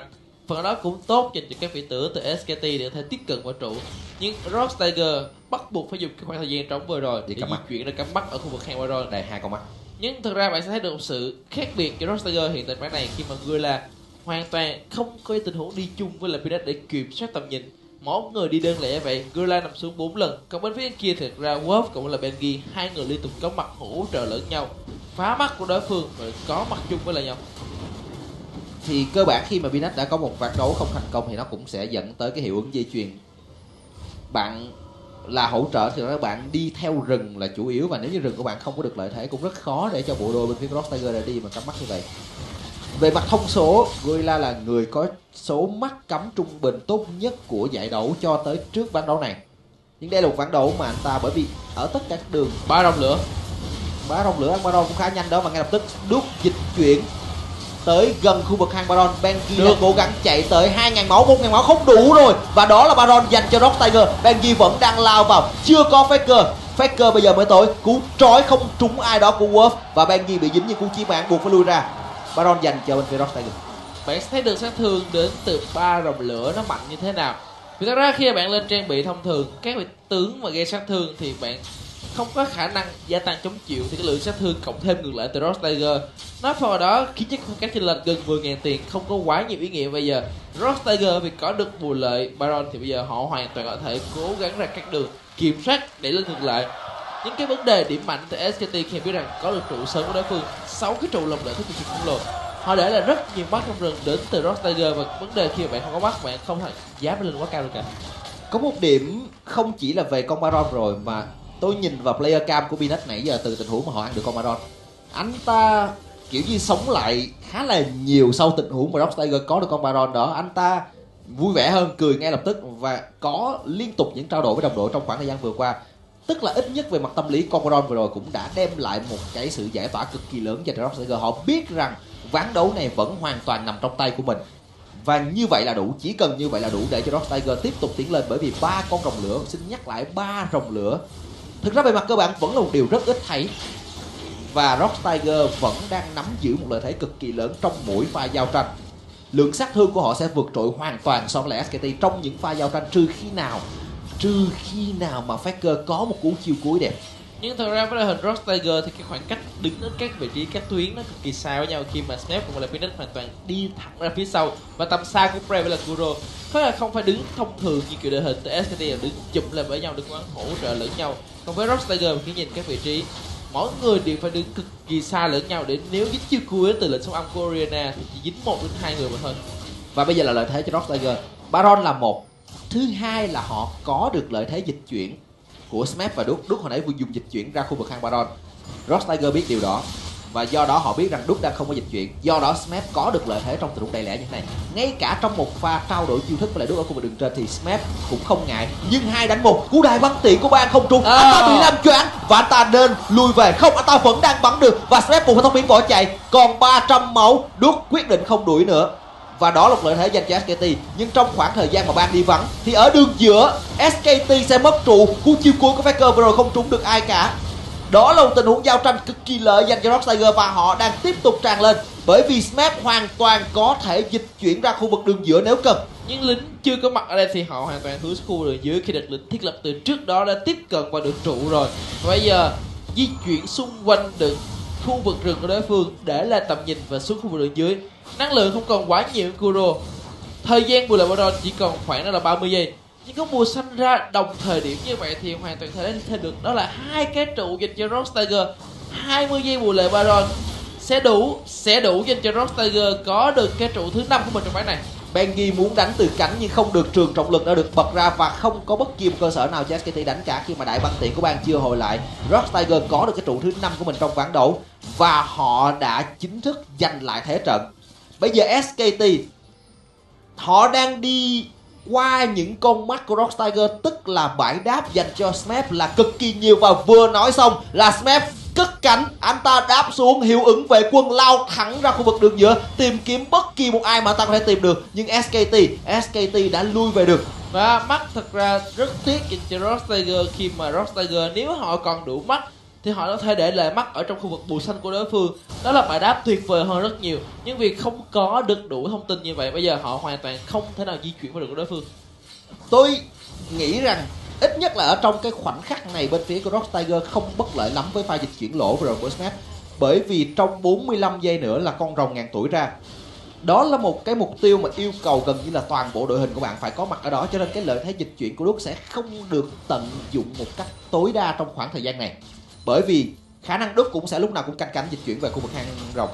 Do đó đây là khoảng thời gian mà cái cú dịch chuyển lỗi vừa rồi của Smith không phải là lỗi nếu mà tức là không hiệu quả đến từ bên phía của Rock Tiger sẽ không bị trừng phạt nhiều lắm. Còn bây giờ thì Đức là người phải lui về không có vấn đề gì cả. Snap đi đằng sau. Snap đi đằng sau. Snap nếu như làm choáng được nhưng Đức đang đi rất xa tường không thể làm choáng được. Và cũng không thể nào giữ Đức lại được. Mất quá nhiều thời gian mất quá nhiều nhân sự và SKT đang tràn thẳng vào khu vực đường giữa Bray rất tự tin, còn đủ phép bổ trợ, còn khăn giải thuật, đứng lên rất cao. Và trước đó, bang đạp bẫy nên bắt buộc bang phải lui về và rồng ngàn tuổi xuất hiện. Nhưng khu vực đường dưới, Oriana Faker đã có mặt kịp thời và con rồng gió giúp cho SKT có mặt ở khu vực dưới. Nhưng năng lượng không còn quá nhiều của Faker. Anh ta không có trang bị hồi năng lượng và cũng không có luôn cả bùa xanh, nhưng anh ta đang có bùa đỏ và tấn công vào thứ ba khu vực đường dưới. Bắt phát bắt trúng, bắn vào faker. Anh ta đã có một tình huống đỡ giáp cho mình xoáy. Fakuro đã tốc biến đi được và Smep ở bên phía cánh anh ta không tạt cánh được. Anh ta vẫn lao vào làm choáng được Becky hất tung được hai người. Wolf hết máu rồi. Wolf đã nằm xuống. Kuro là người có điểm hai gục. Lợi thế về người dành cho Rock Tiger. Và họ đang tràn lên. Bengi bắt buộc phải dùng tốc hành bỏ chạy. Nhưng trong khoảng thời gian đó Duke đã tới trụ 3 đường trên và anh ta đang gõ rất nhiệt tình. SKT có được hai cái trụ 3 và cái đó là cái trụ thứ 8 dành cho SKT và cái mở rào cơ hội tấn công. Sức ép thật ra nó dành cho cả hai bên khi mà SKT mất đi một người. Nhưng với việc mà Rose Tiger đã mất đi cả hai cái trụ ba, hai bên cánh như vậy, điều họ phải làm bây giờ chính là khả năng thiết lập điện lực lính xung quanh. Và khi ở một phút nữa Baron xuất hiện Rose Tiger sẽ bắt buộc phải lựa chọn vì thật ra rồng ngàn tuổi không thích hợp thế nào cả. Đúng là có được wow đúng là có được ba bùa lợi rồng lửa. Nhưng vấn đề quan trọng là bạn không thể nào ăn bùa lợi dễ dàng được. Bây giờ, tôi nghĩ rằng Ross Tiger, rồng ngàn tuổi, đặt trong trường hợp này tôi nghĩ rằng cả hai đội sẽ hướng về rồng ngàn tuổi nhiều hơn. Và khi bước vào một pha giao tranh, hiện tại Kuro không có tốc biến. Đây sẽ là một thiệt thòi rất lớn dành cho bên phía của Rock Tiger. Họ đang phải di chuyển ra khu vực hang rồng. Đúc đang đứng phía trước để che. Wolf cũng đứng rất cao lên, sẵn sàng trói đối phương lại. Anh ta trói trúng vào Bray, nhưng không ai với SKT tiến lên cả. Faker đã hồi lại chiêu cuối. Kuro vẫn không có tốc biến. Smep dùng chiêu cuối, đẩy được tới hai người về. Rồng ngàn tuổi, Rồng ngàn tuổi thuộc về SKT Faker quay ngược trở lại, đặt quả cầu xoay trúng hai người. Và ngay lập tức Kuro lên bảng. Đó là double kill cho Faker. Bray sẽ phải nằm xuống 3 điểm hạ gục cho SKT Binet là nạn nhân tiếp theo. Và Smep Smep sẽ bị giữ lại bởi Bengi và Wolf và trong khoảng thời gian này SKT có thể dứt điểm ván đấu đầu tiên nếu như Snap không về được. Và chắc chắn là anh ta không về được. Bengi và Wolf dư sức để giữ Snap ở lại đây cũng chẳng còn gì khác nữa. Smap sẽ làm tất cả mọi thứ để thể có điểm hạ gục của mình, để thể cố gắng về. Anh ta tấn công vào Bengi nhưng trong khoảng thời gian này SKT đã tràn vào khu vực đường giữa. 28 giây là khoảng thời gian quá dài để cho Rock Tiger có thể hy vọng. Và SKT phá hủy hai trụ bảo vệ nhà chính Rock Tiger. Họ giành thắng lợi trong ván đấu đầu tiên.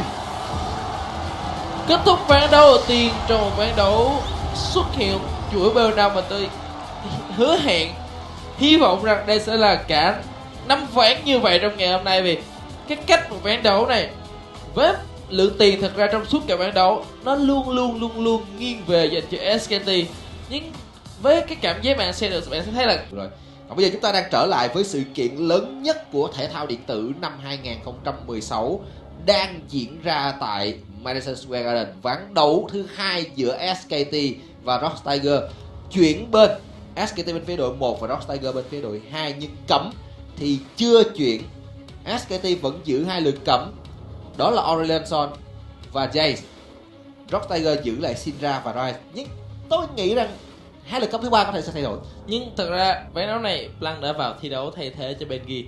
Bắt buộc Rock Tiger sẽ phải cấm đi Nearly bên này. Tôi nghĩ là sẽ cấm Nearly và thật ra Ezreal xuất hiện được dành cho SKT nhưng họ không việc gì phải lựa chọn trước cả Caitlyn vẫn là sự chọn mạnh dành SKT nếu họ muốn và. Jin là sự lựa chọn dành cho SKT đưa ra cấm đấy là một sự chọn khá khó hiểu khi tại sao là cấm Jin Ừ.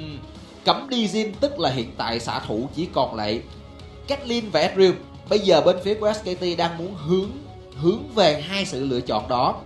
Và bây giờ họ khóa vào Olaf, tức là nếu như bạn đánh Ash khó bởi vì đối với Ash gặp Olaf là một sự nguy hiểm rất lớn.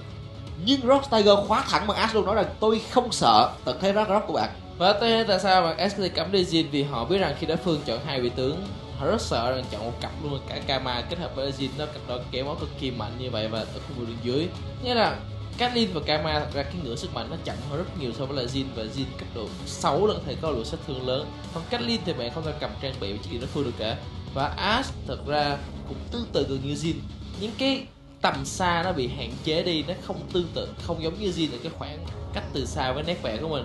Nó sẽ tương đối khó cho Rock Tiger một tí.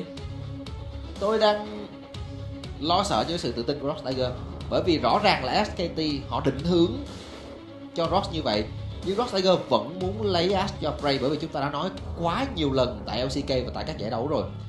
Bray là người đánh Ash tốt nhất của Hàn Quốc và người đánh Ash tốt nhất của Hàn Quốc chắc chắn là đánh Ash tốt nhất thế giới, thì họ vẫn tự tin lấy cái đại băng tiện và chấp nhận việc sẽ bị đe dọa bởi Olaf trong những pha giao tranh với việc là Olaf bật chiêu cuối lên.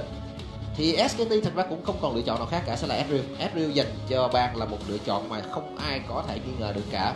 Và một lần nữa họ giữ lại lựa chọn Zera cho world và Zara thật ra cái khả năng mà chặn đi những cái thất tiễn xạ thêm cả có việc kích kinh mantra kết hợp nổ hỏa.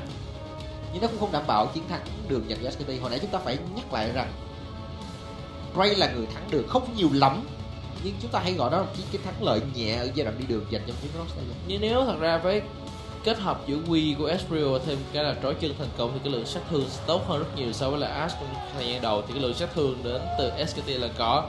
Và Rumble đường trên, Lee Sin dành cho Peanut đỡ đầu với lại Blanc dùng đó là Olaf. Thì vấn đề là SKT họ chọn sự chọn như thế nào, khu vực đường cho Faker họ sẽ chọn gì đây? Nếu là na thì sẽ là rất khó cho smash kèo này chúng ta nói quá nhiều rồi đúc đánh cái kèo này là uy tín luôn. Nếu như rừng không can thiệp ở khu vực đường trên là kèo này đúc khỏe ra. Thì câu hỏi lớn có lẽ đặt ra là liệu sẽ là cái gì đường giữa dành cho Faker đây bên phía của SKT họ vẫn chưa khóa vào hai sự lựa chọn cuối cùng của mình. Echo Victor. Victor và Victor. Echo. Họ đang để vẫn chưa vẫn chưa khóa. Nếu là chọn trước Victor thì phải nói rằng cực kỳ an toàn cho Faker đội hình. Thật ra đội hình sát thương trên diện rộng của họ đang khá là ổn bởi vì là có khả năng phòng ngự tốt. Ezreal, u! Kama wow. Cái gì đây? Vào tôi đường giữa. Không uh, Victor hỗ trợ wow. Nhưng mà đây là khóa và lóc nha tất chứ không có Đúng vậy, không có lộn. suy nghĩ không thể nào lộn được cả. Phải lộn không ta? Không. Ờ... ây da. À. và thật ra không biết thế nào là Victor hỗ trợ hay là Ash hỗ trợ vì Ash hỗ trợ vẫn được. Như là đúng là đánh hai wow tôi cũng không ngờ rằng Rock Tiger lầy đến như vậy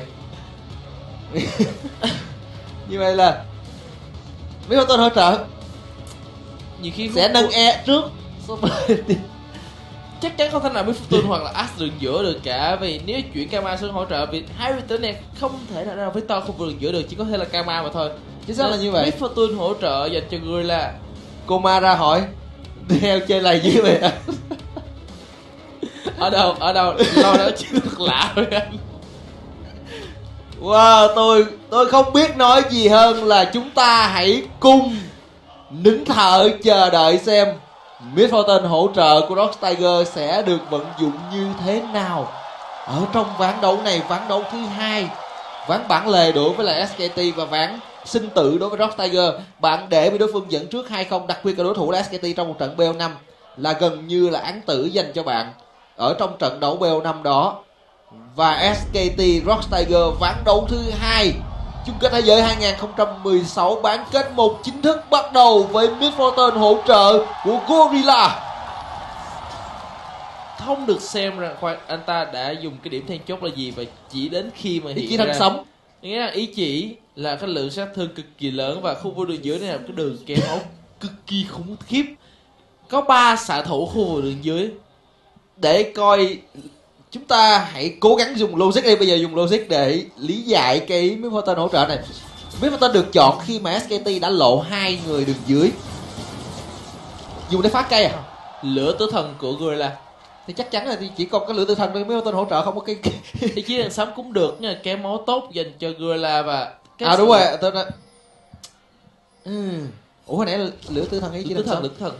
Chắc chắn là wow đó lửa tử thần. U. Quá phải tông biến đã lợi rồi nha. Nhưng mà tức là dùng e để phá cây đúng không? Dùng ờ, mưa đạn để để thôi đó mưa đạn không phát cây được. Chỉ là mưa đạn chỉ để kéo máu tốt đến từ gorilla mà thôi và không kháng phép khu họ sẽ có hai cái làm chậm. Ở đường dưới. Và thêm cái đó là có luôn cả là thiêu đốt đến từ gorilla. Và khi mà có thiêu đốt như vậy nhưng mà vấn đề quan trọng các bạn chính là vị tướng hỗ trợ tầm xa thì bạn phải tiếp cận mà dùng để thiêu đốt và đánh thường nữa những cái điểm mạnh chính là khả năng dọn lính tốt tới cặp đôi này nha. Vì cái nội tại đến từ gorilla là cái nội tại của Viết Fortune bây giờ.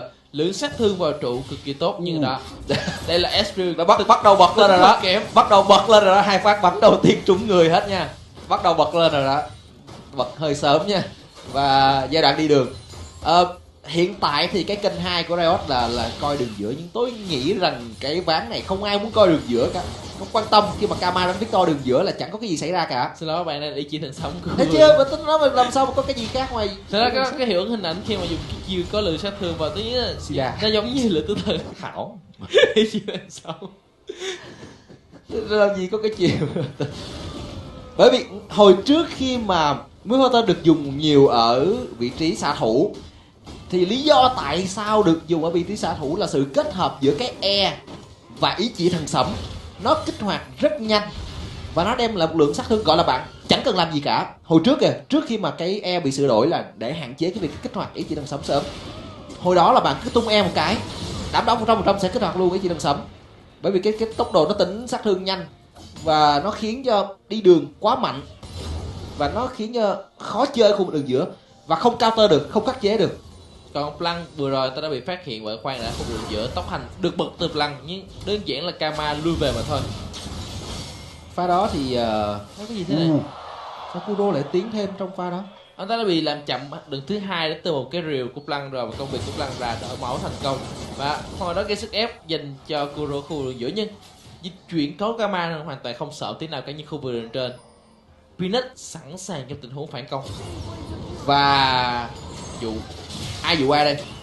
Ai dụ ai một tình huống mà đúc đã dùng cái lượng giới đồng quỳ pha đứng sẵn trong bụi của Peanut và tấn công vào đúc đúc có phải nằm xuống không? Ta nằm xuống chiến công đầu dành cho Peanut và ta đã xong vòng trúng cú tiếp theo.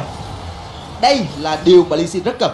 Đã được gỡ bỏ tâm lý dành cho Peanut rồi khi mà ta có khu vườn trên. Phần đó phản công và rất bình tĩnh đợi vào và Snap ta đợi đến khi mà đối phương lao vào. Có được. Đó là quả nhiệt của mình. Lượng sát thương gia tăng lên. Mất dịch chuyển của Đức 29 so với lại 11 mà thôi. Và cái khoảng cách này là khoảng cách cực kỳ lớn trong thời gian ban đầu. Vậy hãy nhìn, Snap rất bình tĩnh anh ta dùng hai chiến của mình cùng một lúc để khi đó vừa có một lượng sát thương, vừa có được quả nhiệt và không thể nào thoát được. Cọc lăng tôi cảm thấy rằng áp lực dành cho anh ta là quá lớn trong ván đấu này khi mà Benji thể hiện với Olaf ván đấu trước quá tuyệt vời.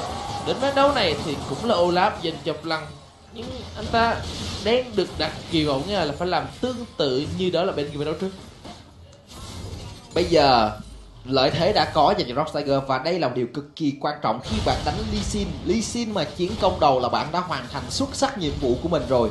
Và rất đơn giản, tiếp theo ta sẽ nhường bùa xanh cho Kuro. Với bùa xanh ở khu vực đường giữa 100% nếu như đánh đúng, Kuro sẽ không thể nào thua khu vực đường giữa. Với Kama, đối đầu với lại Victor được thì mọi thứ đã được giải quyết cho Rock Tiger ở đường trên, ở đường giữa, ở mảng đi rừng của Binet. Thì vấn đề còn lại là ở khu vực đường dưới mà thôi. Nhưng bây giờ Kuro nên cẩn trọng, anh ta bị tấn công bởi Blanc.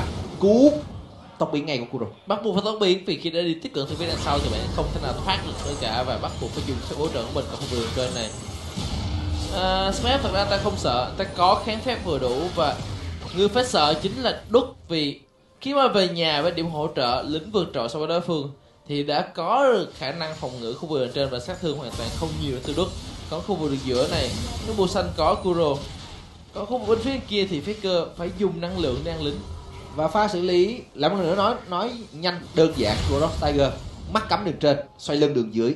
Đánh vậy là xong, không vấn đề gì cả. Kuro làm rất tốt.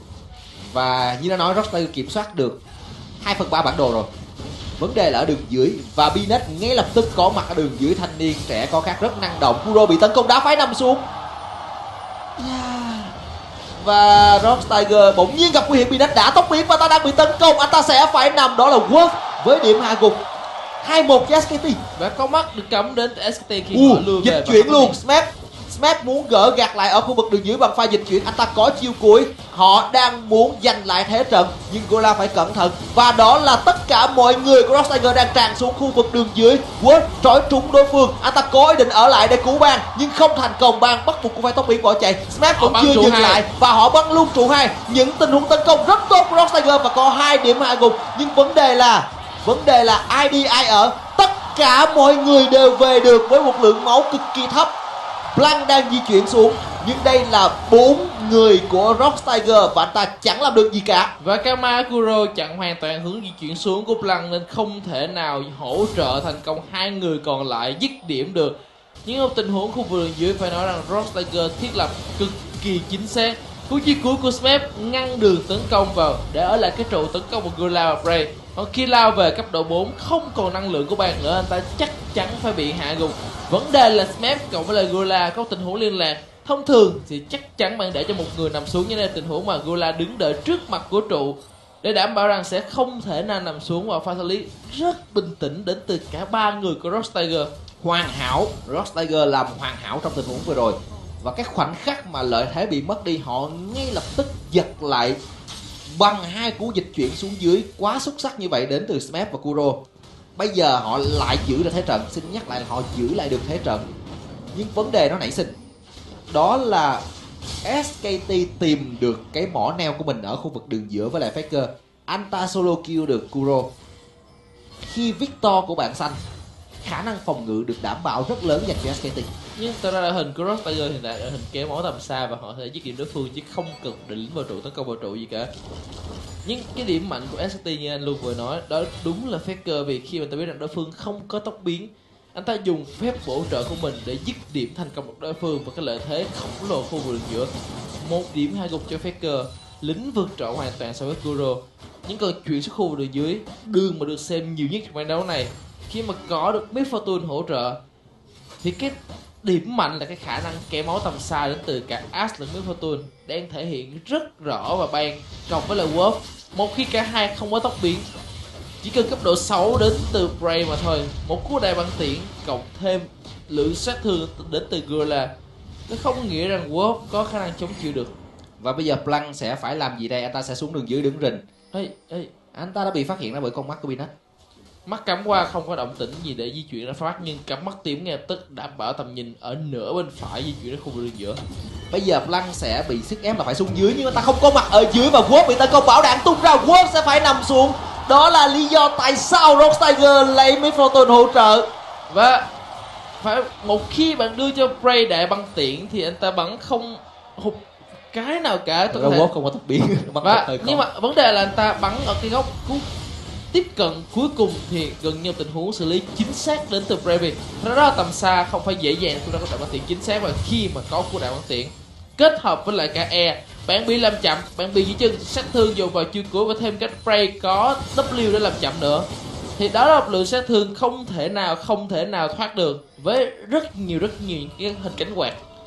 Và Rock làm cái combo này rất hoàn hảo ở cái điểm là cuối cùng Bray vẫn là người ăn nha anh ta giữ W ăn. Bray vẫn là người có được điểm hạ gục thì họ làm rất hoàn hảo cái bộ đôi ở khu vực đường dưới.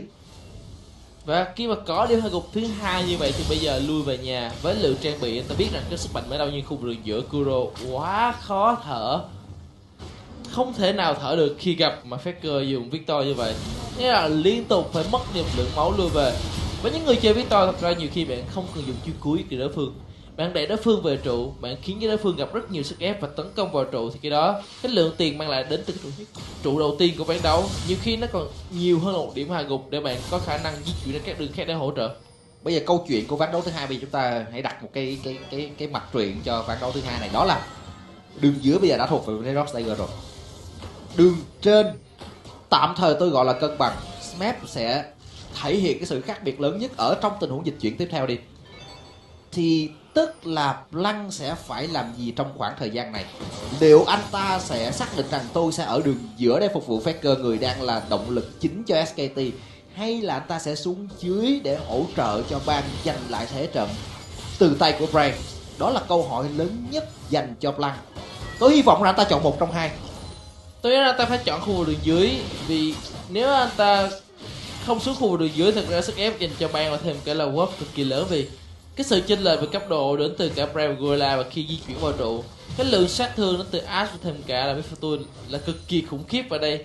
Khi mà không còn tầm nhìn, anh ta chọn chuyển hướng xuống nửa dưới bản đồ. Và sức ép là vừa đủ khiến cho Brave và Gorilla phải lui về. Chứ nếu không, thì cái sát thương vào tấn công vào của Wolf cái khả năng dứt điểm phía dưới là hiện hữu dành cho Rock Tiger. Nhưng pha di chuyển đó của Blanc, anh ta chỉ, anh ta cắm được mắt tức là anh ta sẽ giúp cho bên phía SKT biết rằng Binet có hướng xuống dưới hay không. Nhưng vấn đề tôi đang muốn nói đó là không cần Binet thì cái kèo hai hai đường giữa SKT cũng đã gãy rồi. Thì vấn đề là Plan có giải quyết được cái điều đó hay không thôi đường trên pha giao tranh giữa Đức và Smap Smap đang bị yếu thế, anh ta đang lui về phía trụ của mình. Cả hai đều còn chiêu cuối, cả hai đều còn dịch chuyển tốc biến. Plan đang có mặt ở đường trên và SKT đang có ý định băng trụ. Ngay lập tức Smap dùng chiêu cuối để đẩy lính và lui về phía sau. Plan đã dùng tốc hành. Anh ta đây là sự thiếu kinh nghiệm của một người chơi Olaf. Hãy để cho đối phương tốc biến đi rồi. Tôi rằng ta cũng không phi một chiêu cuối cùng và khi mà rừng của bạn lộ diện nửa dưới bản đồ thiếu người đại băng tiện không trúng ai cả khép góc work nhưng bây giờ thật ra đại băng tiện nó cũng không cần phải quá quan trọng vì họ muốn hướng cái trụ thứ nhất khu vực giữa nhưng không còn lính. Bây giờ mới có thể ăn được mà thôi nhưng sẽ ăn được chắc chắn sẽ ăn được. sẽ ăn được. Cần thì Gola tung luôn chiều cuối thích thì chơi. Né chiều cuối của Wolf Chuyện. đây và đó là Binet lao vào ban buộc phải tốc biến bỏ chạy. Wolf là người ở lại. Anh ta chẳng còn gì để có thể chạy được cả. Trụ đầu tiên và cả điểm hạ gục tiếp theo dành cho Rock Tiger. Tiếc nhất cho Kuro chính là anh ta không thể nào kịp trước để có thể hỗ trợ thành công và cái trụ đã có dành cho Rock Tiger ở khu vực dưới. Họ có điểm hạ gục thứ năm của ban đấu. Họ đẩy luôn. trụ trước. Họ muốn đẩy luôn cả trụ hai. Điều này hoàn toàn có thể vì Bây cái giờ- lượng sát thương chính xác họ chắc chắn sẽ ăn được và họ sẽ ăn được nó. Vấn đề là SKT họ sẽ phải nhanh chóng có mặt ở đường giữa để đổi lại một cái trụ. Faker liệu có dứt điểm được cái trụ một đường giữa hay không? Đó là câu hỏi dành cho SKT anh ta wow cái lượng sát thương này không thể nào kịp vì đối phương vẫn sẽ lui về phòng ngự kịp khi mà Kuro đang có di chuyển về càng nhanh càng tốt và có mặt từ phía đằng sau. Kịp kịp kịp năng kịp, lượng kịp, không còn Kuro. À, Kịp năng không? lượng không? còn Faker bốn phát nữa. Kịp kịp một kịp kịp. hai ba. Bốn, vừa đủ.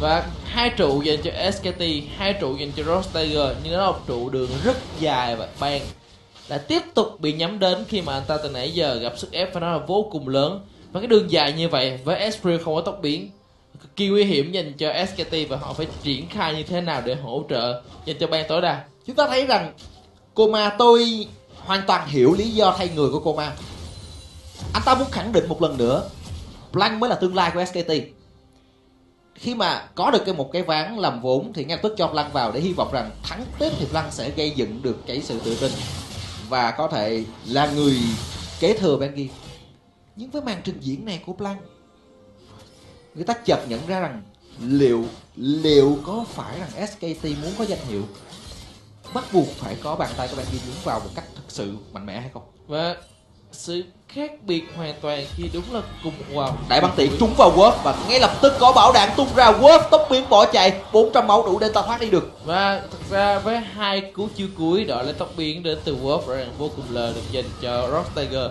Khi mà chiêu cuối hồi lại chắc chắn tốc biến của Wolf sẽ chưa thể nào xuất hiện. Và cứ một lần đi tìm kiếm cơ hội như vậy tầm rất xa và họ không việc gì phải lao vào cả. Đó là cơ hội được dành cho Rock Tiger khi mà họ bắt đầu triển khai. Có đầu tiên của ván đấu bây giờ SKT nên ăn rồng.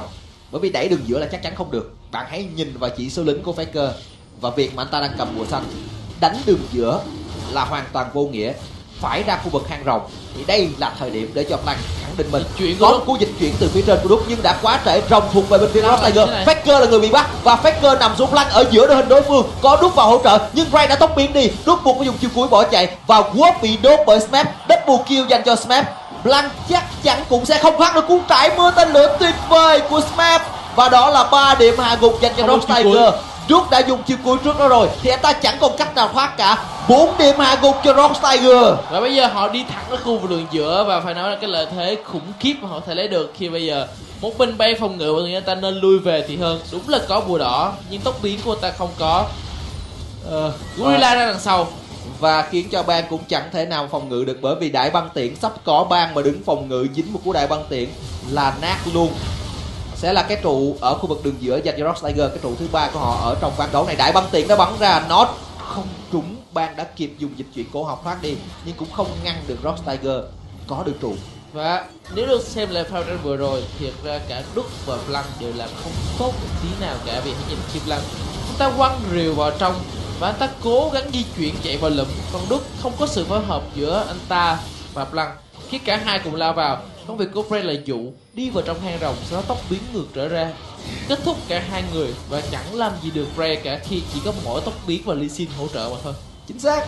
Và từ đầu ván đấu cho tới thời điểm này, có lẽ cái cảm giác chung của người xem khi nhận xét về Blanc đúng là cái câu mà anh Hảo thốt lên trong pha giao tranh. Blanc đang làm cái gì thế này? Tôi thật ra tôi cũng không cần biết là ván đấu này kết quả như thế nào. Chắc chắn ván ba bên gì đánh Đó. khi bạn nhìn vào sự khác biệt rất lớn với một ván đấu mà chỉ số bên ghi cũng là không không không. Nhưng anh ta gấp gấp đôi chỉ số lính. gần gấp đôi lính so với lại rừng của đối phương và anh ta đảm bảo rằng khu vực đường giữa sẽ có sự hiệu quả vượt trội. Và ván này đúng là Faker vượt trội nhưng mà Blanc anh ta đang không một không và lính cũng không có quá nhiều sự khác biệt nghĩa là cái điều mà anh ta làm được ở bên ghi đúng là một trời một vực hoàn toàn. Và nhưng mà cái vấn đề của SKT thật ra nó còn, nó có khá là nhiều vấn đề. Đầu tiên ở chuyện rừng thì không nói.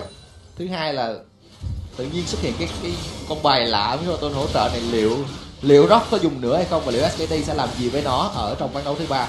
Nhưng mà thôi nói ván ba thì xa quá, trở lại ván đấu này đi. Ván hai.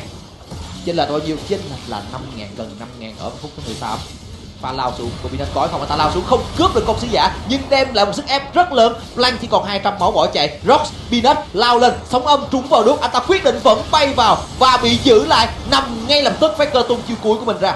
Đậu phộng ơi là đậu phộng tôi không hiểu anh ta tại sao cố gắng tìm kiếm điểm hạ gục.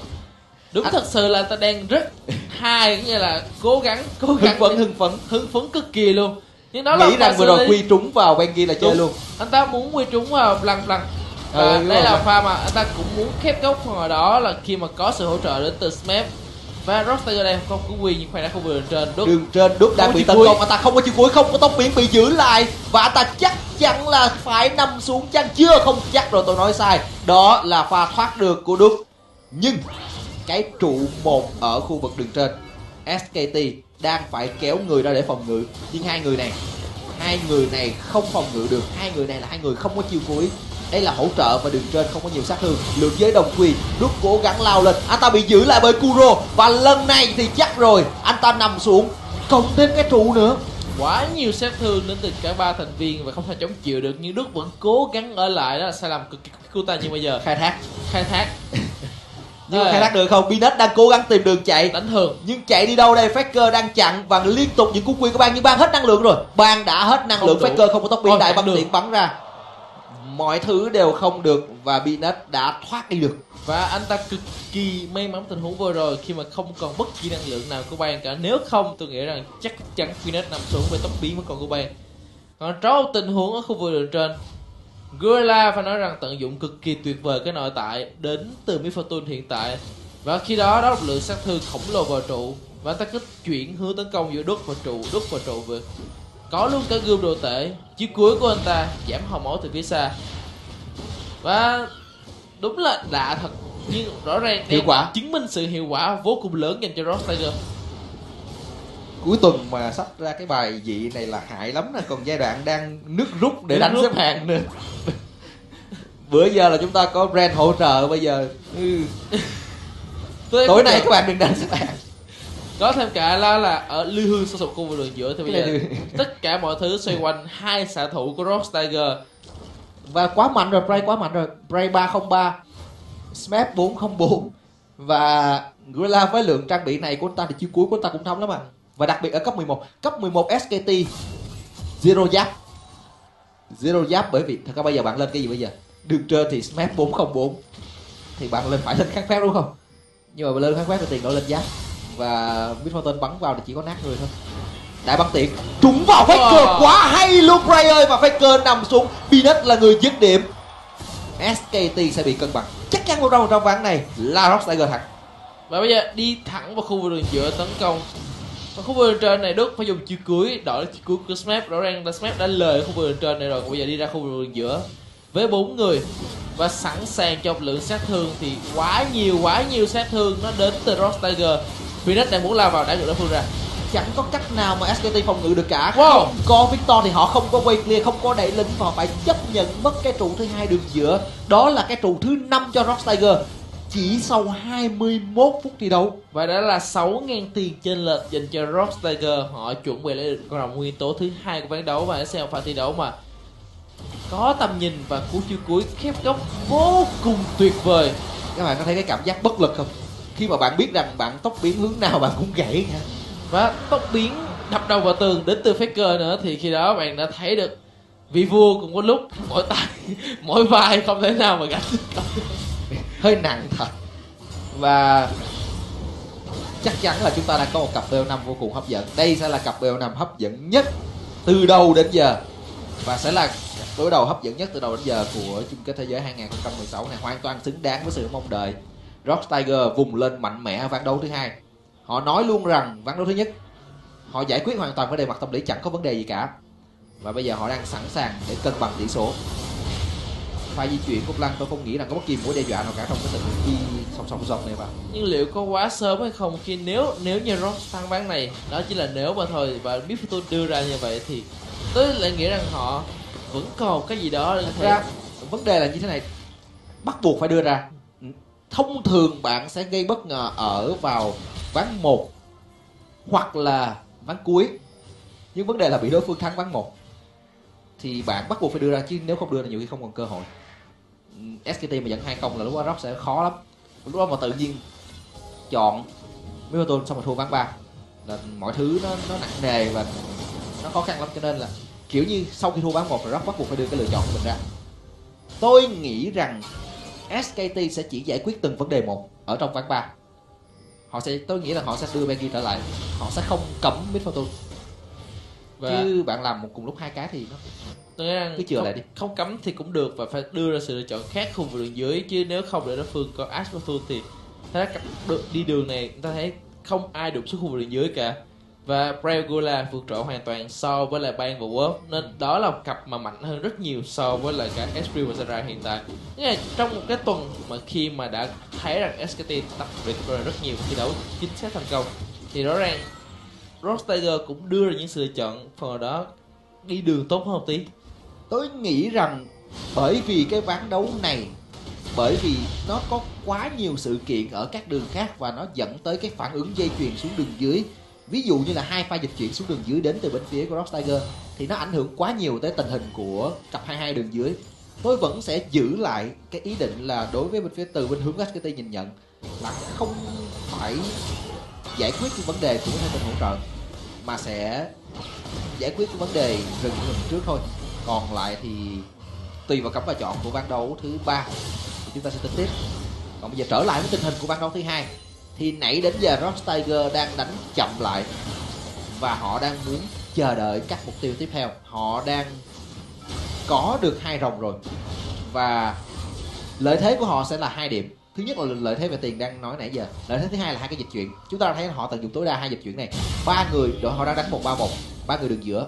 Kuro trên smash dưới. Hai dịch chuyển sẵn sàng. Có mặt và ở khu đường giữa thì di chuyển đến khu vực hang Baron để kiểm soát tầm nhìn, thì khi đó bạn có thể năng giết điểm Baron với cái lượng sát thương đến từ Ash hiện tại. Chống chịu cũng có vừa đủ từ Minute chuyển xuống dưới thì đốt gây sức ép và Smith liên tục. Nhưng thật ra đó là không đủ để có thể khiến cho Smith phải bị hạ gục và năng lượng cũng chỉ là hạn chế của đốt mà thôi. Nên tạm xem như đốt, anh ta có khả năng giữ chân thành công Smith mà thôi chứ hoàn toàn không có cơ hội dứt điểm. Nhưng Rock Tiger Dù, họ dù, đơn giản vì họ có đại băng tiện đối phương ra vụ chiêu cuối đến từ Blanc và sóng âm rất tiếc Binat đã không trúng trong tình huống này. Rock Tiger vẫn đang nỗ lực để tạo sức ép ở trong khu vực hang Ron. Các bạn phải chú ý là nãy giờ bởi vì Smep nấp đi anh ta không lộ diện trên bản đồ cho nên SKT bị một sức ép rất lớn và liệu không biết đối phương có dịch chuyển luôn vào Baron để ăn hay không. Nhưng bây giờ Smep đang lộ diện thì sức ép ở Baron sẽ giảm đi hẳn, giảm đi hẳn cho SKT và khi mà Đức di chuyển về mua đồ thì Smith anh ta vẫn giữ cái lượng tiền nó đang để đồng hồ kéo cho nha chứ cuối, nó không trúng ai cả. Và sẽ không có pha tấn công đến từ khi Rock Tiger rất tự tin lao vào và anh ta không cướp được con mù xanh. người giữ được vẫn là Faker và đó là tình huống xử lý. Cực kỳ khó hiểu khi đứng trước mặt thông thường, rừng sẽ quan giữ là cái trừng phạt để giữ lại con bùa xanh dành cho tất cả mọi đội của mình. Còn vừa rồi thì Rock Tiger lui về thành công. Nhưng lui về như vậy thì lại mất quyền kiểm soát ở khu vực hang Baron nhưng Blanc thì anh ta còn đúng một mắt tím mà thôi. Anh ta không còn mắt trên cái trang bị rừng của mình anh nữa. ta đang vòng lên phía trên cùng với lại Faker có ý định tấn công vào Kuro. Kuro còn tốc biến. Lan tiến tới rồi. Cú quy đầu tiên trúng. Và ngay lập tức dịch chuyển hỗ trợ đến từ Snap. Faker tới. Dùng tất cả mọi thứ của Kuro. Kuro sẽ phải nằm và ngay lập tức bỏ dịch chuyển. Pha di chuyển tốt đến từ SKT và Blanc. Lợi thế này là rất lớn. 40 giây. 40 giây để cho SKT lấy được thêm mục tiêu tiếp theo. Và họ chỉ có thể lấy được trụ và trụ, thật ra chỉ là trụ thứ nhất khu vực đường giữa mà thôi, khi mà trụ thứ nhất khu vực trên và đường giữa đã không còn nữa. Baron cũng không phải là điểm mạnh hiện tại của SKT về trang bị đến từ bang. Lượng sát thương ở phút 27 của Astro chỉ có hai món mà thôi, gần như không thể nào cùng với lại đồng đội của mình dứt điểm được Baron. Nhưng Phoenix đi từ phía đằng sau, cắm mắt phát hiện thành công được bang lợi thế dành cho u của đại băng tiện trúng vào bang bị tấn công bảo đảm tung ra bị đất tiếp cận lập tức bang đã qua được tường vẫn đá sóng âm độ động cước nhưng không đủ sát thương. Quất tung chiêu cuối hỗ trợ và ba thành viên của SKT lui về. Trong khoảng thời gian trống đó Đức làm Họ công việc của. Đức là lấy được cái trụ ở đường dưới. Họ muốn Faker Faker vẫn còn tốc biến tôi không nghĩ rằng bên phía Rockslayer có thể hạ gục được Faker họ cắm mắt và và tốc biến lên của Smap Smap muốn hạ gục Faker và anh ta chưa đủ sát thương. Faker còn 100 máu thoát về được họ nhảy lên khu vực trên họ muốn Faker ba, ba thành viên còn lại của Rock Tiger nghĩ rằng là không đủ sát thương Smap là người nhảy thôi. Smap có cú chia cuối tôi nghĩ rằng trên cả tuyệt vời có một lượng sát thương khổng lồ Faker và khi đó bây giờ họ với 5 người ở khu vực hang Baron này.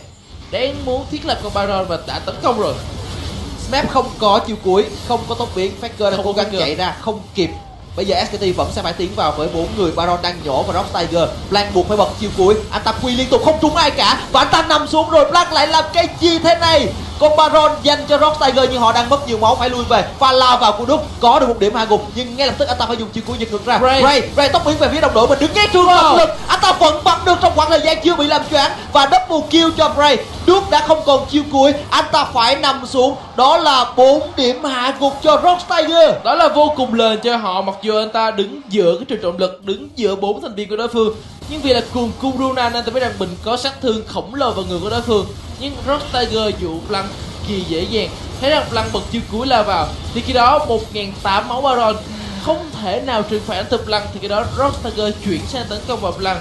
đó là pha xử lý chính xác và tốt đến từ Rock Tiger còn đây. Bray có pha xử lý rất khó hiểu đến ta nhưng đứng ở giữa dùng chiêu cuối bật quy của mình và với cùng cung Runa đó là lượng sát thương khổng lồ của Bray mặc dù anh ta nằm xuống. Tôi thật ra tôi không thấy khó hiểu lắm bởi vì pha đó Bray đánh rất ghê. Anh ta có một cú, tôi nghĩ rất quan trọng, đó là né được một cú quy của bang, một lượng sát thương rất lớn trong tình huống đó, anh ta lách nhẹ, anh ta né cú quy đó, anh ta bắn con mắt ở trong khu vực hang baron để giảm tầm nhìn của đối phương anh ta tốc biến về phía đồng đội của mình là hoàn toàn chính xác rồi. Faker đợi tốc biến xong mới dùng trường trọng lực. Nhưng vấn đề là Ray biết rằng trường trọng lực cần phải có thời gian để kích hoạt. Và trong khoảng thời gian đó SKT nhảy thẳng vào vị trí gần và chịu đủ sát thương từ cung cung Runan khi mà Ray kích hoạt quy và giữ chiếc cuối từ ray và anh ta thật ra có một tình huống đánh thường và mắt để cố gắng giữ lại cái quy của mình vẫn còn được kích hoạt và bật quy lên, ghép lượng sát thương khổng lồ. Còn bây giờ thì có được bù lại Baron. Rock Tiger đi ra khu vực đường giữa và hãy nhìn cái lượng sát thương của ban hiện tại. Và Quá Peanut. khổ. Wow, tới thời điểm múa rồi. À, từ À, cái này không múa đâu, cái này là dứt điểm luôn Peanut Dứt điểm được ban. Và chẳng còn gì để SKT níu giữ nữa. Rock Tiger tiến vào khu vực đường giữa với lợi thế về người. Smap đang đẩy ở đường trên. Một cửa dành cho Rock Tiger và ngay lập tức họ di chuyển lên khu vực đường trên.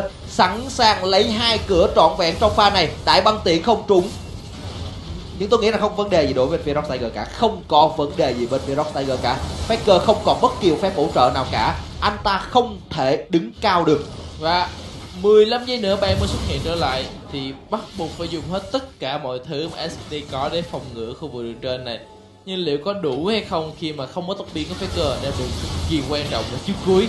Mua tên lửa sóng âm vì Binet lao thẳng vào anh ta, rất tự tin bởi vì anh ta quá trâu rồi. Đây là một ly Sin năm hai năm, một trụ nữa dành cho Rock Tiger.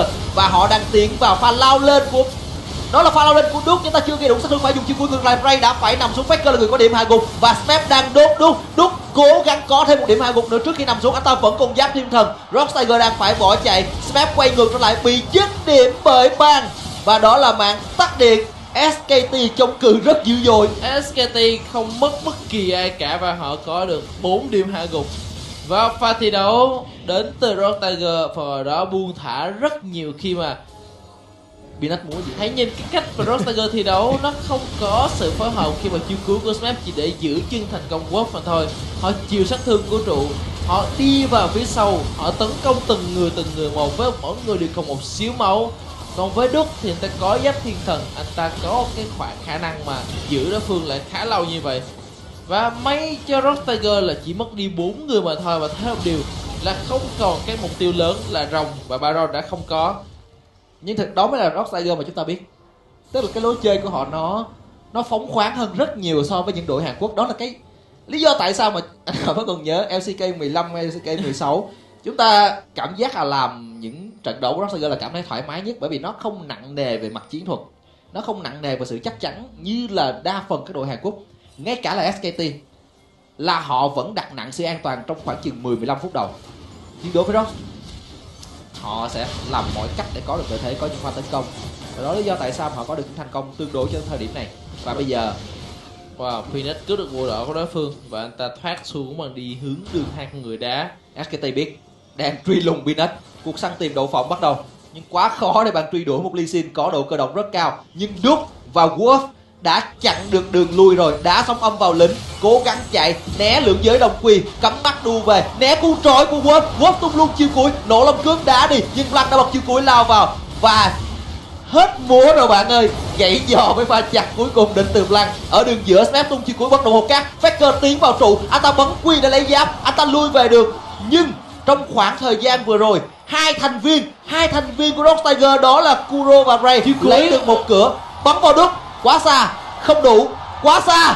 Đó bắn đủ luôn đúc bị làm choáng. Đó là một cú chiêu cuối gợi cho tôi nhớ lại phát bắn của Yellow Star ở mùa 1 và Bray giữ đúc lại và để cho chính bản thân mình tấn công vào nhà chính của SKT họ đang cố gắng bắn, nhưng đút về kịp rồi. Đút về kịp rồi, nhưng Ray vẫn đang bắn. Đút và Lăng, không thể chống chịu được với ba thành viên của Rock Tiger. Đút đã dùng chiêu cuối và tốc Nguyên bỏ chạy. Ray vẫn đang bắn trụ về nhà chính và phá hủy được rồi. Ray đang bắn vào nhà chính của SKT lượng giới đồng quy không được kích hoạt. Ray vẫn bắn được và SKT bị cân bằng tỷ số. Rock Tiger gỡ hòa một đều. Và chính Ray ta đã tự đem chiến thắng về với việc với cú chiêu cuối trên cả tuyệt vời và đây không phải lần đầu tiên anh ta làm điều này, vì trong mùa giải 2016 đặc biệt là mùa hè, Ray đã làm một điều tương tự như vậy với một chiến thắng dành cho Rock Tiger trước Longzhu ở mùa hè 2016 LCK khi dùng chính đối thủ có thể đánh bại được. Và ván đấu thứ hai rồi đã thể hiện tất cả Rock Tiger đánh bại SKT trong ván đấu đó và cân bằng tỷ số một đều và chúng ta sẽ đến với ván đấu thứ ba đã có sự thay đổi lớn đến từ giai đoạn cấm và chọn khi mà Rock qua bên phía đội một bản thân họ cấm đi Kama. Họ tôi nghĩ rằng sự chọn Kama là cực kỳ nguy hiểm còn với SKT kia phía đội hai họ chuyển về đó là Aurelion Son, Nearly thêm KJ ba sự lựa chọn khác tương đối là quen thuộc mà thôi. Còn nói về Ra và Shinra gần như là hoàn toàn rồi. Như vậy là với 5 trên tổng số 6 sự lựa chọn chỉ có thay đổi một hoặc hai mà thôi còn Rock Tiger giữ nguyên Ash. Cái phong độ của Bray hiện tại với đại băng tiện của anh ta, và tôi nghĩ rằng vấn đề không phải là hỗ trợ. Vấn đề là anh ta đang có một phong độ cực kỳ tốt với là Ash. Bây giờ thì Ash KT hồi nãy tôi, cá nhân tôi nhận xét rằng hai vấn đề của họ nằm ở rừng và cái lựa chọn hỗ trợ của đối phương khiến họ bị bất ngờ. Thì đầu tiên cô ma hoàn toàn không đồng ý với tôi luôn anh ta nói rằng Blank vẫn sẽ là sự lựa chọn mà tôi sẽ tin trong đội hình của SKT trong bảng đấu thứ ba. Đó là điều thứ nhất. Điều thứ hai, hoàn toàn chính xác không cần phải cấm điểm với tôi vấn đề là họ sẽ thay đổi như thế nào để có thể đối phó với Middleton trong trường hợp bên phía Rock Tiger lại chọn một lần nữa. Thì bên phía của Rock đã có một sự lựa chọn rất hay khi cấm Kama. Kama là một sự lựa chọn có thể thay đổi được. Họ lấy đi để cho SKT không có thể là kiểu như là bạn SKT sẽ chọn Kama để sẵn ở đó. Và nếu như họ coi cái bộ đôi đường dưới của Tiger như thế nào, họ sẽ đổi Kama thành hỗ trợ hoặc là đường giữa. Nhưng mà khi mà đã cấm Kama rồi SKT chỉ có một lựa chọn duy nhất là phải chọn hỗ trợ trước, bởi vì họ sẽ phải để đường giữa lại cho Faker. Và khi đó Rock Tiger vẫn toàn quyền chủ động ở khu vực đường dưới. Và họ biết rằng khu vực đường giữa với Victor, dịch Kuro sẽ cực kỳ an toàn, chọn luôn Kalisin cho đến khi phục độ của anh ta đang tốt thì biết rằng đối phương sẽ chọn như thế nào ở khu vực đường dưới thì sẽ là Cali và zara rất an toàn mà thôi. Chứ đây là bộ đôi thật ra không có khả năng họ phục vụ hỗ với nhau không thực sự tốt cho lắm. Vì khi trói chân từ zara đặt bẫy ra nó không có đủ thời gian kích hoạt cái bẫy lượng sát thương. Ở khi đi đường nó lượng sát thương phụ thuộc hoàn toàn khá nhiều vào zara phải đường tốt nên có thể là nguy hiểm dành cho Rockstar uh, cho SKT thật ra đó tôi nghĩ rằng bộ đôi Zara Kathleen là bộ đôi tôi nghĩ là cái combo đơn giản là bạn không cần phải đặt bẫy xuống khi mà Zara nói trúng bạn chỉ cần quy vào là được rồi là tôi nghĩ là lượng sát thương đó kết hợp với cú bắn thường là nó cũng phải khoảng chừng năm trăm máu rồi. Thì uh, cái cặp này không phải là không mạnh mà vấn đề là liệu cái cặp này có giải quyết được cái bài toán với tôi đây không?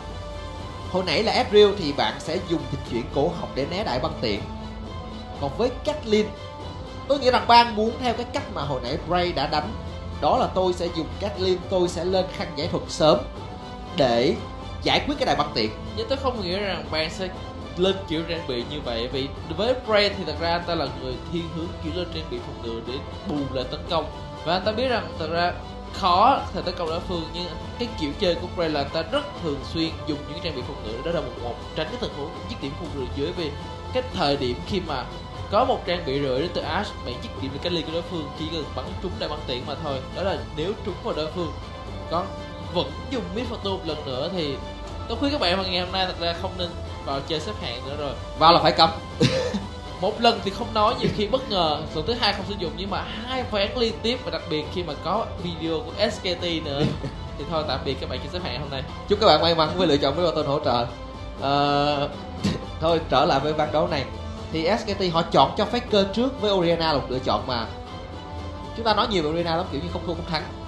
Là nó phụ thuộc hoàn toàn vào cái khả năng của bạn nhưng mà về mặt cơ bản chất tướng là nó sẽ đảm bảo cho bạn cái sự an toàn khu vực đường giữa đảm bảo cho bạn không bị thua nặng nề thật sự là như vậy. Oriana là vị tướng mà kiểu như bạn không biết chọn gì bạn sẽ đánh Oriana đường giữa. Và đây đúng là một kèo gọi kỹ năng khung đường giữa vì Oriana với Thor là cả hai đều hai bên out nhau.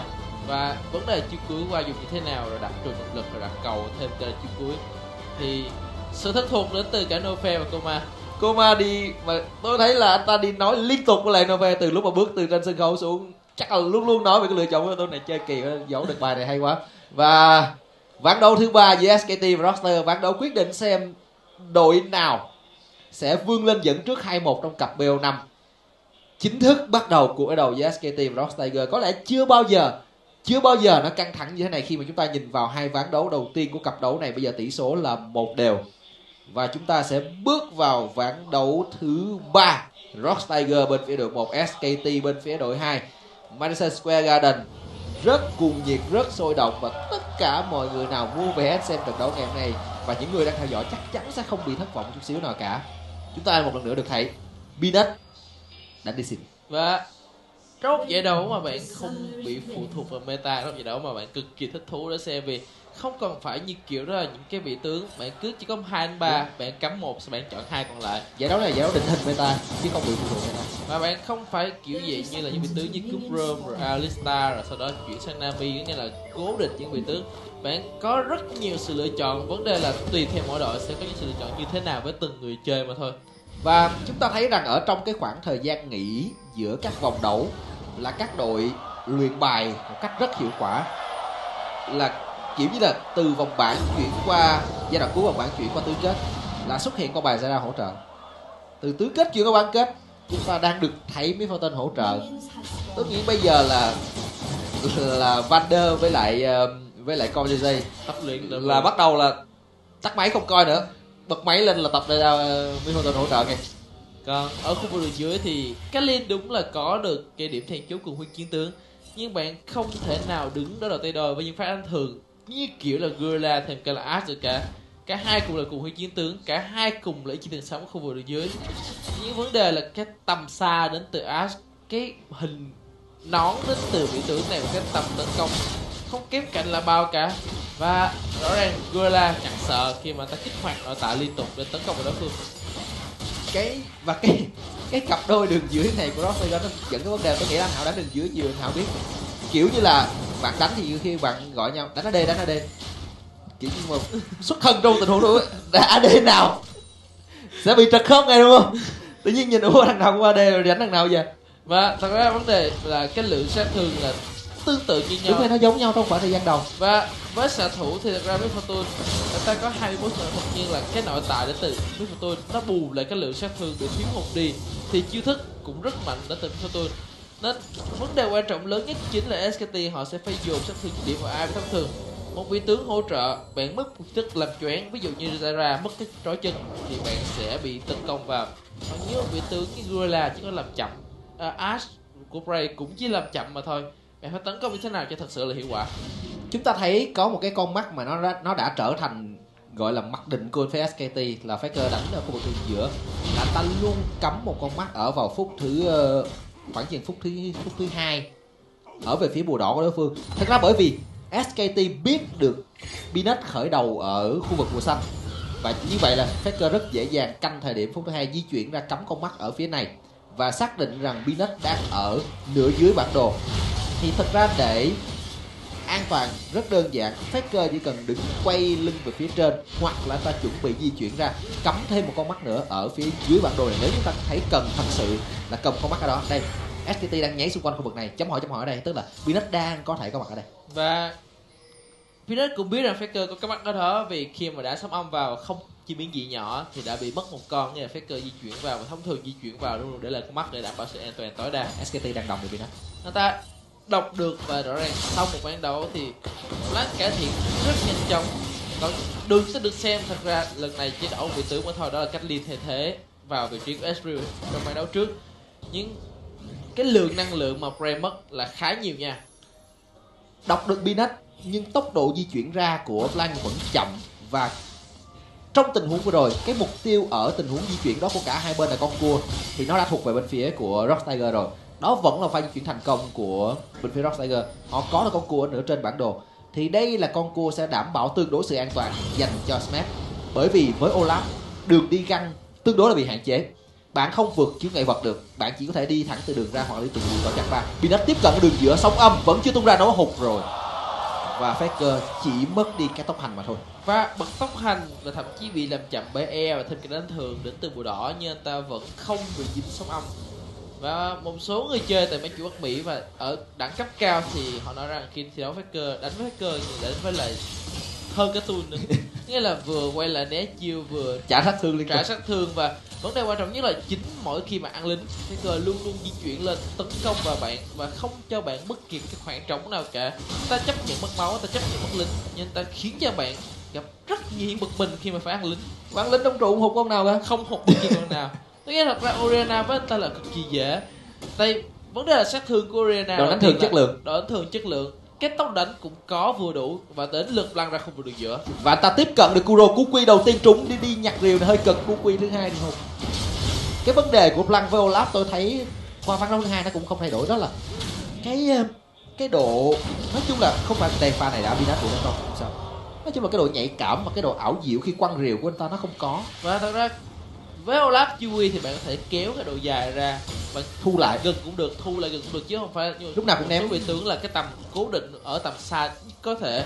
Với Olaf thì bạn có thể ném ném trúng đối phương vừa đủ và chỉ ra sau lưng thôi. Đó là đẳng cấp cao nhất của Olaf khi bạn ném trúng. Và ra sau lưng đối phương lụm và tiếp tục ném liên tục liên tục liên tục như vậy. Và phải nói là không phải ai cũng đánh Olaf được kiểu đó nha. Các bạn cứ coi bước ngoặt trận đấu vừa rồi của VTV làm là cái trận uh, EDG và Rock Tiger. Là Clear Love cũng có những pha ném rìu nó cũng gọi là gọi là ừ đúng bạn sẽ ném trúng lần đầu tiên. Nhưng mà nó không tạo thế được để bạn sẽ nhặt rìu và ném được cái cú rìu thứ hai để tiếp tục làm chậm đối phương. Thì đó là một cái điều mà flan chưa làm được từ ván trước cho tới ván này. Anh ta sẽ phải cải thiện cái điều đó bởi vì thực ra uh, Victor và Rumble ví dụ như Victor và Rumble và cả Ash nữa đều là những vị tướng mà độ cơ động không cao. Họ không có những cái kỹ năng để thay đổi vị trí ngoại trừ cái chuyện tốc biến. Thì bạn mà ném rìu mượt mà là bạn sẽ luôn luôn có được những tình huống ra và đe dọa rất nhiều. Và chỉ cần tự tin và khả năng ném rìu của mình nha. Chính xác về cái định hướng nha. Một khi đã ném trúng rồi thì bạn phải tự tin mà mình phải ném trúng thì bạn mới có khả năng làm điều như ném vừa đủ ra phía sau. Còn với khu vực đường giữa thì cái khả năng lên đến từ Oriana bây giờ chẳng kém cạnh là bao so với lại đối phương cả. Và cái Faker thì vẫn như thông thường mà thôi. Vượt trội hoàn toàn sau là Kuro mặc dù có sự hỗ trợ từ khu vực giữa còn chuyển lên khu vực dưới thì có sự khác biệt khá lớn như là Bray tăng lên đơn vị là có giày nghĩa là vẫn một lượng tiền vừa đủ ngang bằng với là ban nhưng ban là chọn thanh kiếm BF còn Bray là giày một thanh kiếm dài nhưng ta chọn thêm cả lưỡi hai để thể gia tăng lượng tiền. Chúng ta thấy ít nhất bên VSKT đã giải quyết được một vấn đề đó là ở đường dưới. Đúng vậy. Thực ra hồi nãy tôi cũng đã nói ở ván đấu trước tức là khi đánh hai chưa chắc thì họ đã thua ở cái kèo đấu này. Rồi cũng vào quốc ngay lập tức vừa ra tốc biến lên, cố gắng dứt điểm một phát đánh thường nữa. Và đó là chiến công đầu. Binet đã được ban ra phía sau. Và anh ta vẫn cố gắng lấy điểm hạ gục ban không lấy điểm hạ gục double kill cho Bray. Và chỉ có hai đến ba máu nhưng khoan đã gửi lại các bạn phía sau nhất. Ta đang ơi xin lỗi bạn là lăng. Lăng đang tiến tới một quy thôi. Một quy thôi dạ. là sẽ có điểm hạ gục. Anh ta quyết định đi lại gần. Bổ e có được điểm hạ gục với cú quy tiếp theo. Và gỡ gạt lại một điểm hạ gục dành cho bản thân mình. Nhớ ta chạy ra khỏi trụ. Binet không đủ tầm để kích hoạt cú nộ long cước. À cú cơ xuống. Vô cước. Faker đang muốn đi di chuyển xuống khu vực dưới nhưng bây giờ thì đã cảm nhận được nguy hiểm và đã lui về đến từ hai thành viên còn lại của Rock Tiger. Đó, khi mà phong độ lên cao thì Peanut xử lý cực kỳ nhanh chóng. Đó là tình huống mà xử lý Ban không ngờ đến. Ta xuống khu vực dưới cấp độ 6 vừa độ và Gula đứng ngoài tập lĩnh cho cấp độ 6 của Ray. Ray có quá nhanh luôn. Vừa có chiêu cuối bấm control R, bấm R ngay tất vào vị trí. Còn Ban thì anh ta không nghĩ ra cấp độ 6 vừa kịp Phoenix và điều quan trọng chính là Phoenix đang đứng ở trước mặt của Ban và ngay tức tốc biến cộng với lại R còn đây là tình huống pha này, xử lý pha này thật ra Blanc cũng ổn nha chứ lúc đó mà Izumin nhập là làm mệt rồi rất hồng rất nhiều lính đó cái đó lính và hai tướng nha là bạn giữ cái dấu ngã luôn không giải quyết được vấn đề đâu. Quy không là không đó. điểm được. Đó. Khi e lộn. Pha đó là vẫn là Blanc chứ không phải là Izumin. Bây giờ thì hai một cho Rock Tiger. Hai điểm hạ gục nó thuộc về Bray thì thật ra mà nói thôi chắc là tới ván nếu mà ván ván bốn là là phải phải giải quyết về cái bài toán với tôi này rồi. Tôi nghĩ rằng không biết muốn cấp Ash hay không vì biết tôi đúng là sự lựa chọn rất mạnh khu vực dưới nhưng vấn đề là cái đại văn tiện cực kỳ chính xác của Bray và cái sự lựa chọn khu vực dưới này đang giúp cho anh ta tạo sự chủ động. Vấn đề là Rock Tiger đã rất sẵn sàng cho cái lựa chọn Ash và Miss Fortune. Ở cái mảng là chúng ta thấy đầu tiên là Ash không phải là tướng đánh tốt nhất của bang là một. Thứ hai là khi mà bên phía Rock Tiger có ý định đánh Ash anh Hảo nhớ họ làm gì họ cấm đi Jin là một trong những cơ chế của Ash. Là chính đại bản và ngay lập tức quá bị dính bảo đạn sát thương chưa đủ à vừa đủ luôn. Nó không thể nào thiếu được cả vì thật ra sát thương của Bray hoàn toàn thể bước lên dứt điểm vì Bray ta còn tốc biến nếu không đủ rất sát thương. Nhưng vì biết rằng đồng đội mình dứt điểm thành công nên ta dựa tốc biến đó không có điểm hạ gục cũng được. Thì đó vấn đề bây giờ thật ra không phải là Mihoto luôn đề thật ra là Ash của Frank chính, đó chính xác là cái đại bản tiện của anh ta không khu vực được dưới. Đúng là đối phương không có tốc biến nhưng bạn sẽ thấy không thường cái sức ép đó là không đủ để mà dứt điểm vào đối phương những đại bản tiện của Bray tung ra trúng là sát thương có dứt điểm và cứ mỗi một lần như vậy. Sự chênh lệch bây giờ hoàn toàn lớn khu vực dưới. Và nó như thế này. Ban hồi nãy anh hảo nói rằng anh ta có thể không lên khăn giải thuật. Nhưng ngay cả khi ta lên khăn giải thuật, nãy giờ Rock Tiger đánh vào Wolf. Chứ không phải là ban những cú đại băng tiện nhắm thẳng vào Wolf và đó là một Zara khi không có tốc biến không có bất kỳ một kỹ năng nào để có thể di chuyển được cả. Là chắc chắn gục xuống và có vẻ như Tiger họ biết rằng với việc Kuro khu vực giữa là gần như không thể nào đi được cân bằng với lại Faker xoáy luôn không? Xoáy luôn và Binet bị dính bị trói lại bị kiệt sức và bị hủy diệt bởi SKT Faker giữ lại hy vọng cho SKT rằng cứ mỗi lần mà SKT cảm thấy bị lung lay thì Faker luôn luôn cố gắng níu giữ lại hy vọng. Đó thật sự là như vậy vì cách ở ván đấu trước khi mà anh ta cầm Victor anh ta có được điểm hơn khu vực đường giữa thì đó cũng là thời điểm đồng đội của anh ta nằm xuống ở các đường hai bên cánh. Vấn đề là liệu anh ta nó lại như thế này? À đây là Quốc bị thôi sẽ hồi đại ban tiện hồi đầu tiện rồi Dạ, nha. Hồi lại ban tiện nha. Ờ, như đã nói cái lối chơi của Faker thực ra là lối chơi gọi là đặc trụ ở đường giữa. Tôi sẽ giữ lợi thế ở khu vực đường giữa.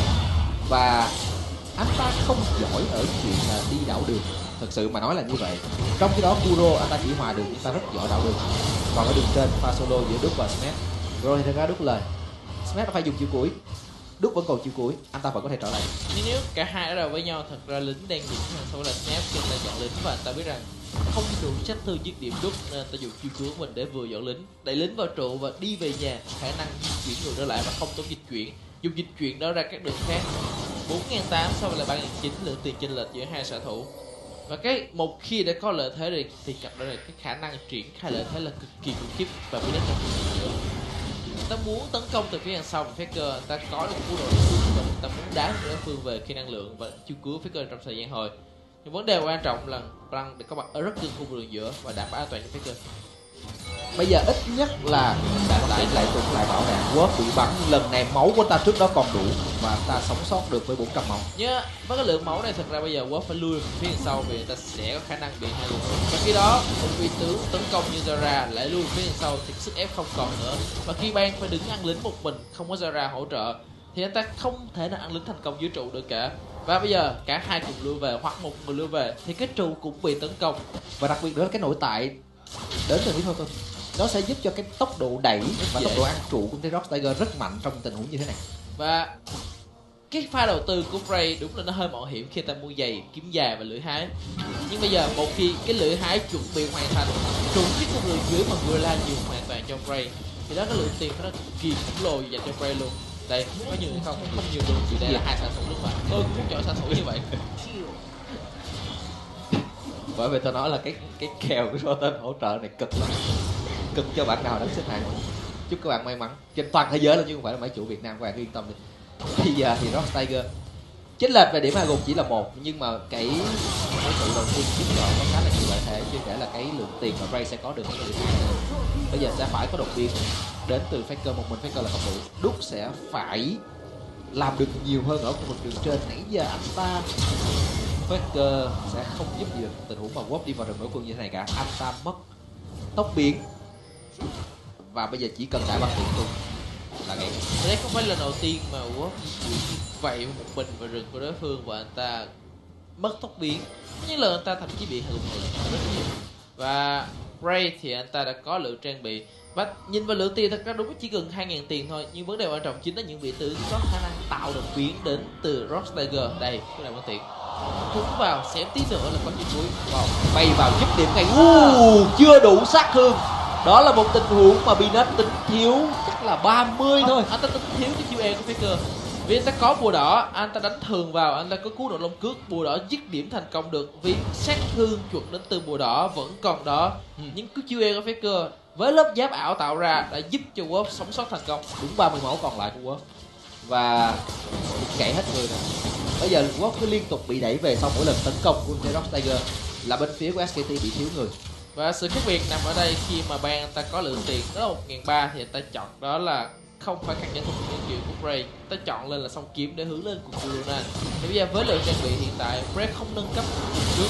Ta biết rằng mình cần năng lượng chọn trên Smep đã tốc biến những cú quy đầu tiên của Lan không trùng. Anh ta vẫn nhặt được rìu, anh ta vẫn có thể có những cú quy tiếp theo. Và Smep đã phải nằm xuống cuối cùng. Thì SKT cũng có được lợi thế ở một đường khác. Họ đang muốn giành lại thế trận. Cấn băng tỷ số 3 đều dành cho SKT và khu vực trên. Trong thời điểm này team hoa đỏ Đức đã có thể chiếm lĩnh lợi thế với dưới sự hỗ trợ của lăng. Những khu vực đường giữa thì hơi khó một tí khi phải đẹp bán đấu mà Kuro không bị gặp sức ép. Cái trụ chỉ mất 1 phần ba lượng máu mà thôi, Victor sẽ thắng khăn nhưng rõ ràng là muốn thắng được Faker mà không có rừng ra cam thì nó hơi không thể. Tôi chỉ muốn dùng từ nó hơi khó thôi. Còn đây là một tình huống mà mắt tím được cấm và Snap đã đẩy lên quá cao anh ta tham cái đợt lĩnh đó và khi mà bạn đã tốc biến ta nét cái điều đầu tiên những cái hướng rồi rất đơn giản thì nhầm lăng, anh ta cứ ném về phía trước, tập một đường về. Muốn dịch chuyển của Smap để gỡ gạt lại ban đã buộc phải tốc biến. Nếu như lao điện trúng là gãy, Smap bị trói lại bởi Wolf, bảo đảm tung ra và ban ban nằm xuống đúng ở loạt sát thương cuối cùng. Đây là, thật ra là sự bất lực đến đến từ ban vì có sát thương đến từ Smap Man không thể nào thoát được vì một khi dùng tốc biến rồi dùng thêm cả chiêu E thì công việc Gorilla là tốc biến ra một góc mà không thể nào chạy được. Anh ta tốc biến ra góc bên phải anh ta dùng chiêu cuối sát bạn phải thì bạn không thể đứng yên là đợi để có thể thoát được cả. Xoáy trúng bởi Faker nhưng anh ta cũng vừa hết năng lượng. Và đúng 4 giây nữa và ngay thời điểm mà tôi vừa nói xong thì rồng đã hồi lại. SKT không có cơ sở để ra một phần. Và vừa rồi đó là một đường sát thương của lượng vừa là khi mà ta dụng kiểu đúng là lạnh ngàn cuối cùng vẫn còn thiêu đốt nằm ở đó dứt điểm thành công được ban với một Catlin mà khi mà phút thứ 17 của bạn bạn chưa có được một trang bị lớn đầu tiên thực ra đó là điều cực kỳ thảm họa trong khả năng dụng đến mình không có thể làm gì cả đúng tốc biến lên cùng với lại Wolf tấn công vào Snap anh ta đang đợi đồng đội tới nhưng không thấy ai tới chỉ thấy Blank tới thêm. Và nhường điểm hạ gục cho được đó là điểm hạ gục thứ tư cho SKT và đó tốt khi với lượng sát thương hiện tại của Rock Tiger. Wow, khi cuối nó trúng vào Wolf. Nó wow. trúng vào Wolf và Wolf không còn tốc biến. Ngay lập tức bị đánh tiếp cận và Wolf nằm xuống. Sự chắc chắn đến từ Ray là quá khủng khiếp. Lăng bây giờ sắp sửa hết tận thay Ragnarok và Binet anh ta có nổ long cước. Đúc đang cố gắng bằng mọi cách để che đồng đội của mình nhưng không che được. Nổ long cước tung ra sóng âm tung ra và những phát bắn liên tục đến từ Ray. Đó là điểm hạ gục dành cho Rock Tiger. Và họ muốn lấy luôn Cassia Kenneth nếu họ có khả năng để lên khu vực đường trên. Còn khu vực đường giữa thì trao đổi năng lượng của Faker lấy máu Kuro. Đường dưới ban đang cố gắng cố gắng đẩy càng nhanh càng tốt. nhưng cái lượng sát thương của anh ta là cực kỳ hạn chế. Trụ thứ hai của Rock Tiger sẽ có đó là trụ một thứ nhất ở khu vực đường trên của SKT còn khu vực đường dưới thậm chí là bàn khi mà ta thấy rằng Snap đã ra trở lại rồi. Ta không có đủ thời gian để ăn trụ nhất khu vực đường dưới. Và Rock Tiger vẫn chưa mất bất kỳ trụ nào cả nếu cứ giữ phong độ này thì có skin uh, Ash uh, hơi sớm hơi sớm hơi sớm hơi sớm để nói về bất kỳ điều gì cả. Nhưng ván đấu này thì ít nhất là SKT thể hiện một bộ mặt sáng sủa hơn rất nhiều so với giai đoạn giữa của ván đấu trước. Họ đã có một cái thế trận tốt hơn rất nhiều. Nhưng có một điều vẫn không thay đổi là độ chính xác của Ray nó vẫn quá khủng khiếp với những cú đại băng tiền. Thật ra ta dùng cái thấu kính của mình bắt vật tổ viễn thị để có khả năng dùng đối phương. Vì khi ta dùng, biết rằng Wolf vừa di chuyển về. Có hai đường cho Wolf di chuyển về, nghĩa là đi đường vòng. Ở cái đường ra màu xanh quẹo bên trái hướng lên. Đó đường duy nhất ta chọn. Và có một cú chiêu cuối trên đường quẹo ra và chính xác. Đó là sự xuất sắc đến từ Bray. Còn nếu quẹo phải thì Phoenix đang đứng sẵn để đợi hướng di chuyển ra đến từ Wolf mà thôi còn bây giờ Đức đây là ban đấu thi đấu tốt của Echo thì phần đó SKT thật ra họ đang không thua quá nhiều vì Echo trong nhiều đối mặt với là Ash thì cực kỳ tuyệt vời. Cái lượng sát thương theo thời gian bạn đi xuống một đầu vòng. Và bạc. Có phải hơi quá không khi muốn cuối vào cùng người. Nhưng thôi thì cũng được vì gì điểm quá cả để có được cái cái trụ chắc không gì trên bản đồ cả. Lấy điểm hạ gục xong về bốn chiếc cuối hồi lại rất nhanh thôi. Nữa không điểm. Cho ban là không ba môn nó đã thấy mưa tên lửa, thấy đại băng tiện, thấy luôn cả bảo đạn và thấy luôn cả bảo điện từ và ban không có tóc biến trong tình huống đó. Tôi nghĩ rằng, rõ ràng là có vấn đề với cái, các xạ thủ người Hàn khi mà họ họ biến rất nhiều những kỹ năng là định hướng thành những cái kỹ năng chọn mục tiêu. Chúng ta thấy April chọn mục tiêu tại những cái thế giới này rồi. Của bạn của bạn. Và chúng ta đã thấy rất rõ ràng là Ash chọn mục tiêu của Bray tôi nghĩ rằng trong bán đấu này, nếu tôi không nhìn nhầm thì anh ta vẫn chưa hụt một cú chiêu cuối nào. Ờ, trong ván này ván này Ờ, ván này chưa hụt một cú chiêu cuối nào. Ta bắn chủ yếu là ở khu vực đường dưới. Đường dưới là trúng quốc và còn đường trên đó là trúng từ tầm xa sau là quốc còn vừa rồi là tầm gần của ban rồi và độ chuẩn xác đến từ đại băng tiễn của anh ta là như đánh thường vậy. Đánh thường kiểu dạng như nội tại của ban là 90 giây mà đánh thường một phát là đánh thường một phát mũi tên siêu bự và làm kẻ đối phương. Ghê về từ đánh thường và SKT đang gặp khó khăn thật sự trước Rock Tiger. Họ đang bị dẫn trước một khoản tiền tôi nghĩ bây giờ đã là đã là đáng kể rồi. Và một vấn đề nữa là ngoại trừ việc là họ cam được smash hai lần, nhưng họ chỉ cụ thể hóa nó được thành một trụ mà thôi, bởi vì ở đường dưới ba không đủ cái lượng sát thương để lấy được cái trụ một ở khu vực đường dưới và con rồng đầu tiên cũng đã bị bên phía Cross Tiger lấy. Có một cái may nho nhỏ cho SKT thôi đó là con rồng đầu tiên và con rồng thứ hai đều là hai con rồng nước. Hai con rồng mà nó ít nguy hiểm nhất dành cho bản thân họ. Và rồng nước Hồi đó thực ra với hình Cross Tiger không phải là quá lợi với khả năng kém máu chỉ là vừa đủ mà thôi. Còn ban khu vực trên này có sự hỗ trợ và lại là Smith tiếp tục là người bị cấm trại để đảm bảo sự an toàn. Tối đa anh ta đã dùng chiều cuối và anh ta tốc biến né của tròn của tung chiều cuối quá tung chiều cuối vừa rồi rất tệ chẳng có cách nào mà cú chiều cuối nó trúng được cả. Một khi chiêu e của bạn đã không thành công thì chiêu cuối của bạn gần như là vô nghĩa để có thể cố gắng cố gắng tấn công vào đối phương. Chỉ là có một lượng sát thương nhưng tốc biến đã né thành công đến từ snap rồi. Trong tình huống khu vực trên bây giờ ban sẽ đẩy rất nhanh vào trụ thứ ba. Nhưng còn khu vực đường giữa ai hỗ trợ Faker với cô đại bản tiện của Bray đây? Và một điểm nữa là Rock Tiger nó lại trùng và lăng lần này không có chiêu cuối bảo đảm tung ra nhưng ta rất trâu với lượng máu của mình. Anh ta không bị hạ gục trở lại với điều đang nói. Bên phía Rock Tiger biết được rằng bây giờ cái đột biến duy nhất đến từ phía SKT trong giai đoạn giữa của ván đấu này là những cú xoáy của Faker. Và các bạn hãy nhìn cách lên trang bị của họ. Smash đóng thẳng một cái áo choàng bạc. Binet là một cái cái đai máu và một cái kiếm răng cưa. Đường giữa Kuro quyết định không lên không lên vòng lưu địch, mà anh ta lên trường Flarealize với lượng máu tăng thêm những vị trí trọng yếu của Infernox Tiger đều đã có máu hoặc là kháng phép hoặc là cả hai để có thể chắc chắn rằng độ đột biến đến từ Faker đã bị giảm đến mức tối đa. Và họ cũng không tập trung lại để giúp cho SKT tập trung khả năng phòng ngự tốt với khả năng nhận linh của Katlin và thêm cả đó Oriana khi đã cùng cùng Ronan của Katlin rồi. Còn trang bị tiếp theo của Faker khi mà sau khi hoàn thành quỷ thiên Morello tối đa hóa sát thương bắt buộc phải là Odin để có thể gia tăng lượng sát thương, kích hoạt ra các vị trí khác và thêm cái là tốc độ di chuyển ra là được. Anh ta thậm chí là phải lên hoàn toàn là sát thương thôi, bởi vì cái khoảnh khắc mà anh ta ngưng đồ sát thương lại và lên một trang bị mang tính chất phòng ngự thì là cái hy vọng của SKT sẽ giảm đi rất nhiều. Tôi nghĩ rằng anh ta bắt buộc sẽ phải all in vào lượng trang bị sát thương ở trong ván đấu này.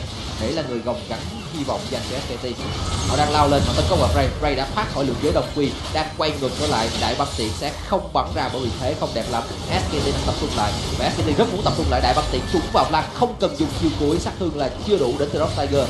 SKT có cú tốc biến lên cú bấm tung chiêu cuối không hiệu quả. Và anh ta sẽ phải nằm xuống. Sau đó thì SKT đang mất người. Binet đã xong âm trúng, quyết định không kích hoạt vô ảnh cước. Faker vẫn giữ lại tất cả mọi thứ trên tay của mình để chờ đợi pha giao tranh rồng này. Nhưng Flank không còn chiêu cuối, máu chỉ còn một ngàn. Rock Tiger kiểm soát được con rồng. Và Phoenix quay ngược trở lại lên ở khu vực đường giữa để cố gắng cố gắng phòng ngự này mắt được cắm tới không có năng lượng của Pan không hầm trúng.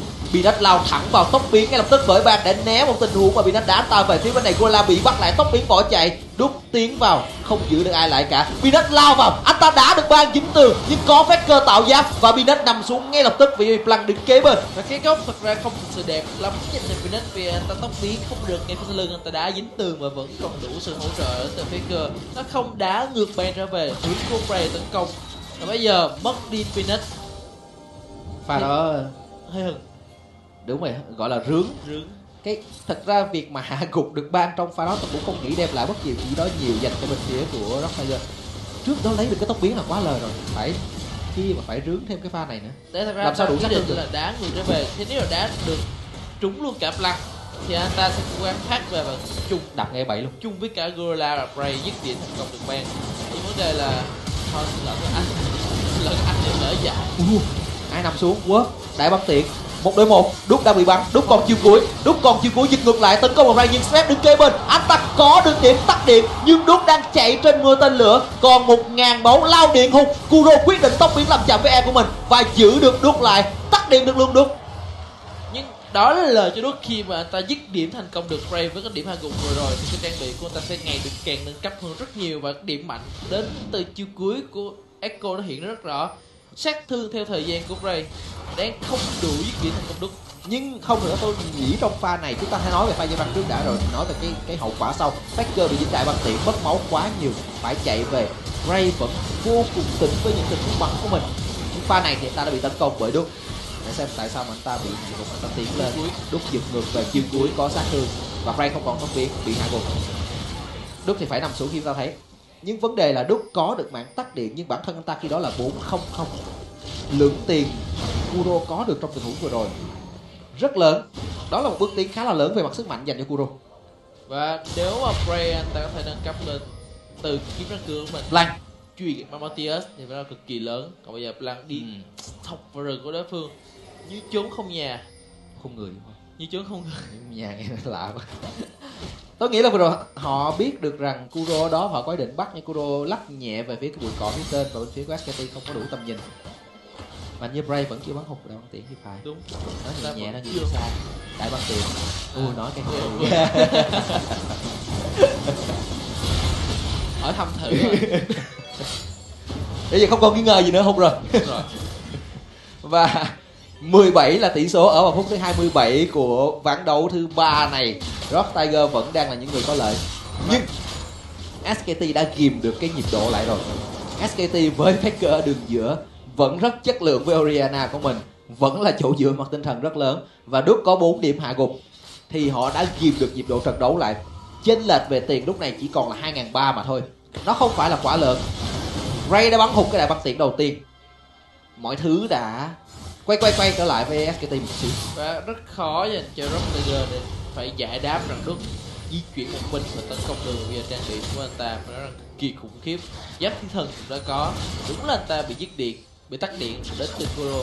Nhưng vấn đề bây giờ là anh ta cứ đi một đường đẩy cực kỳ nhanh. Đi ngược lại một đường khác thì Kuro không thể nào di chuyển lại một lúc được cả. Và bây giờ thì thật ra một một đúc gọi là không sợ ai cả dù là Smith hay là Kuro đều không có đủ sát thương để hàng hậu đúc trong tình huống một một. Và anh ta đang kéo được rất nhiều nguồn tài nguyên của bên phía Rock Tiger xuống cái vị trí của mình. Như hiện tại, anh ta ở đường dưới. Đại băng tiện trúng vào Faker bảo đạn tung ra ngay lập tức. Faker bị hạ gục ngay. Và đó là sự khác biệt khi mà đối phương có được lợi thế đẩy đường thì bạn phải mở giao tranh thành công. Rox làm được điều đó và họ đang ép được SKT không di chuyển về khu vực đường giữa được và Brave phải nói cực kỳ tinh quái khi mà những thành viên của Rock Tiger mà ra chính SKT cũng không nghĩ rằng Faker sẽ là người bị dính đạn băng tiễn đúng là không có tóc biến.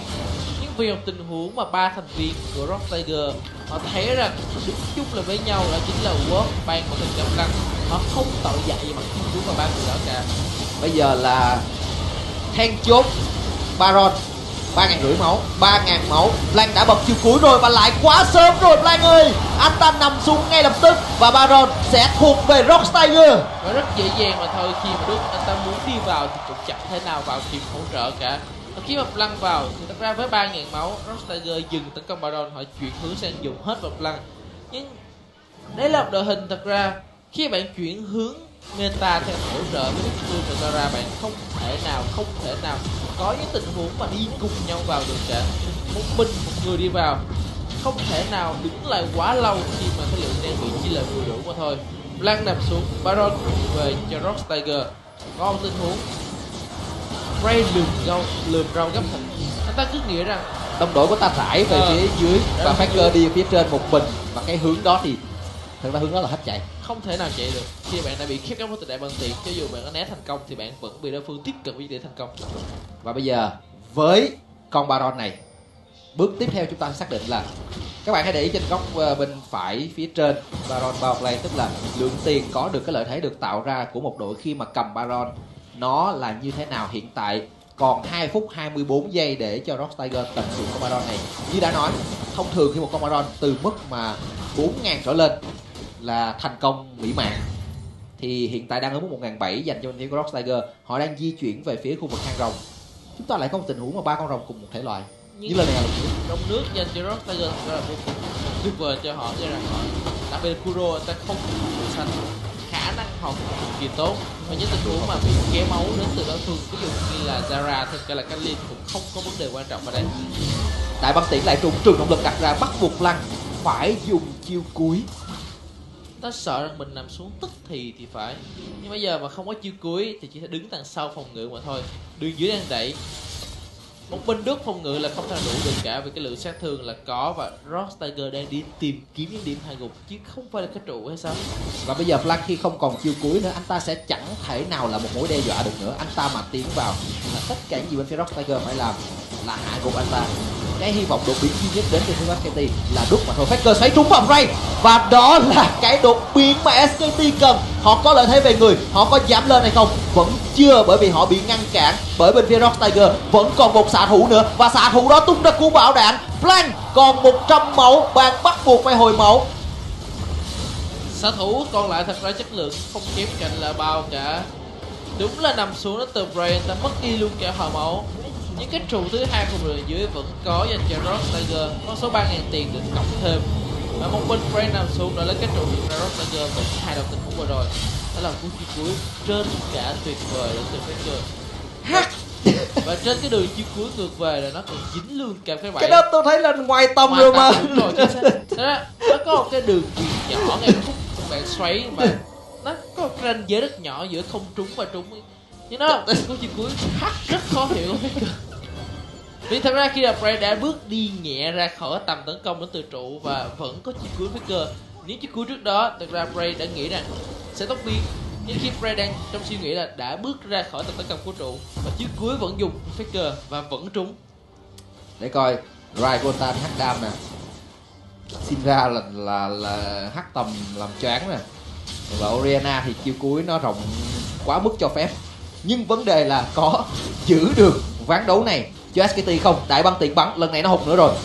Và SKT có cơ hội để phòng ngự. Lăn lao thẳng lên ta ném rìu cú đầu tiên trúng giữ Kuro lại và bật chiêu cuối bắt đầu lao vào Faker ngay phía sau lưng. Kuro buộc phải tốc biến và bắt phát bắt trúng. Không ai che cả tắt điện rồi. Đốt đang bơi phía trên. Snap bắt buộc phải tung chiêu cuối. Bảo đạn tung ra khiến cho SKT không tiến về được. Ray đã tới và hai phát bắn khiến cho Wolf phải nằm xuống. Smap đang một mình chống lại tất cả và ta không đủ sức. Rock Tiger sẽ phải rút lui trong pha này. Họ chỉ còn hai người và họ vẫn đang đứng lại. Ray tốc biến lên bắn.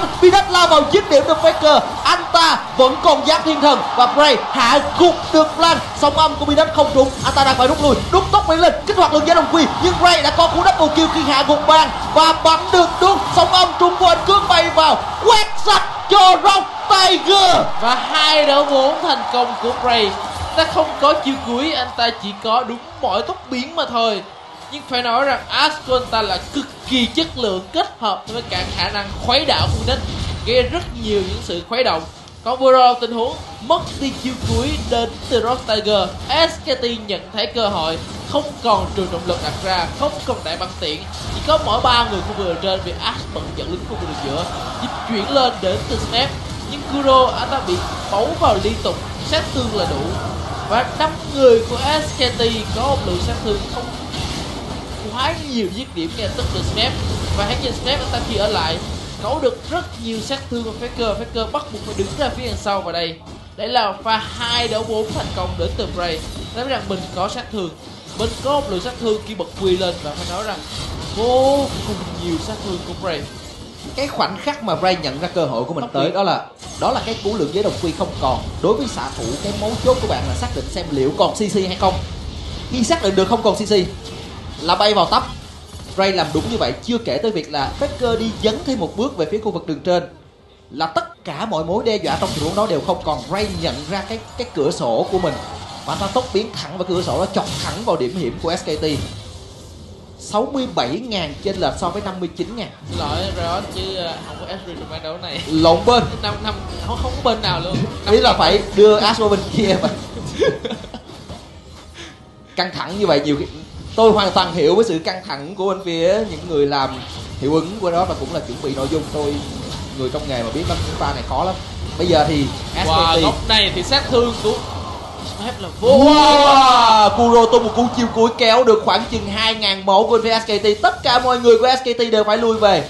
Và khoảng trống được mở ra Rock Tiger sẽ sọc thẳng vào khu vực đường giữa. Và họ có thể đẩy cả đường trên lẫn đường giữa vì lính đang cố gắng hỗ trợ cho họ Omaron Baron 20 giây nữa, nhưng hãy nhìn lính ở đường dưới. Không có dịch chuyển của Đức. Rostager có thể lui về vì họ biết rằng bây giờ với khả năng đi về nên cấp trang bị hoặc đứng lại đợi cũng được. Vấn đề là SKT không có tầm nhìn ở hang Baron và lính ở hai bên cánh đang đẩy cực kỳ mạnh vào trụ ba của SKT Như vậy là họ nhìn được bản đồ tốt hơn tôi và họ nhận ra rằng cái quyết định tốt nhất là để đợt lính đây. Chúng ta thấy rằng bang đã đi lên trên để đẩy lính tức là SKT đang thiếu người hoàn toàn ở nửa dưới bản đồ. Nơi mà 20 phút nữa 20 giây nữa, con rồng ngàn tuổi sẽ ra. Và khu vực hang hiện tại SKT hoàn toàn không có đủ tầm nhìn. Họ không có một con mắt nào trước trong hang cả. Còn Faker bắt buộc phi chuyển xuống khu vực. Ở phía dưới để phòng ngự vì anh ta có khả năng trở đến sinh kỳ tốt. Nhưng Rock Tiger cứ lần lượt lần lượt từng người một lưu về một trang bị. Thực ra không tốt tí nào cả, nhưng ít nhất rằng Kuro hoàn thành trang bị thứ tư của mình, đó là một tên Ramadan thêm cả là Snap đã có đồng hồ kéo rồi nha. Bây giờ sát thương kết hợp là đến từ Rock, đến từ Rock Tiger.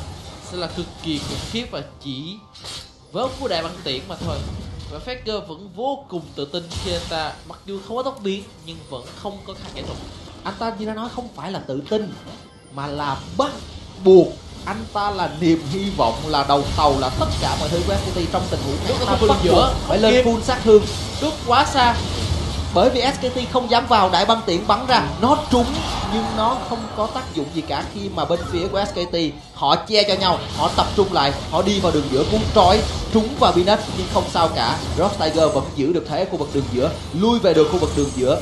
Lượng giới đồng quy không chặn được Rock Tiger tiến về phòng ngự. Khép góc hoàn toàn có lợi Baron rồng ngàn tuổi không phải là sự lựa chọn thích hợp dành cho SKT cho lắm vì bây giờ làm thế nào nếu như họ ăn rồng ngàn tuổi là Rock Tiger đẩy thẳng vào đường giữa lấy một đường luôn. Ok chấp nhận đổi không vấn đề gì cả.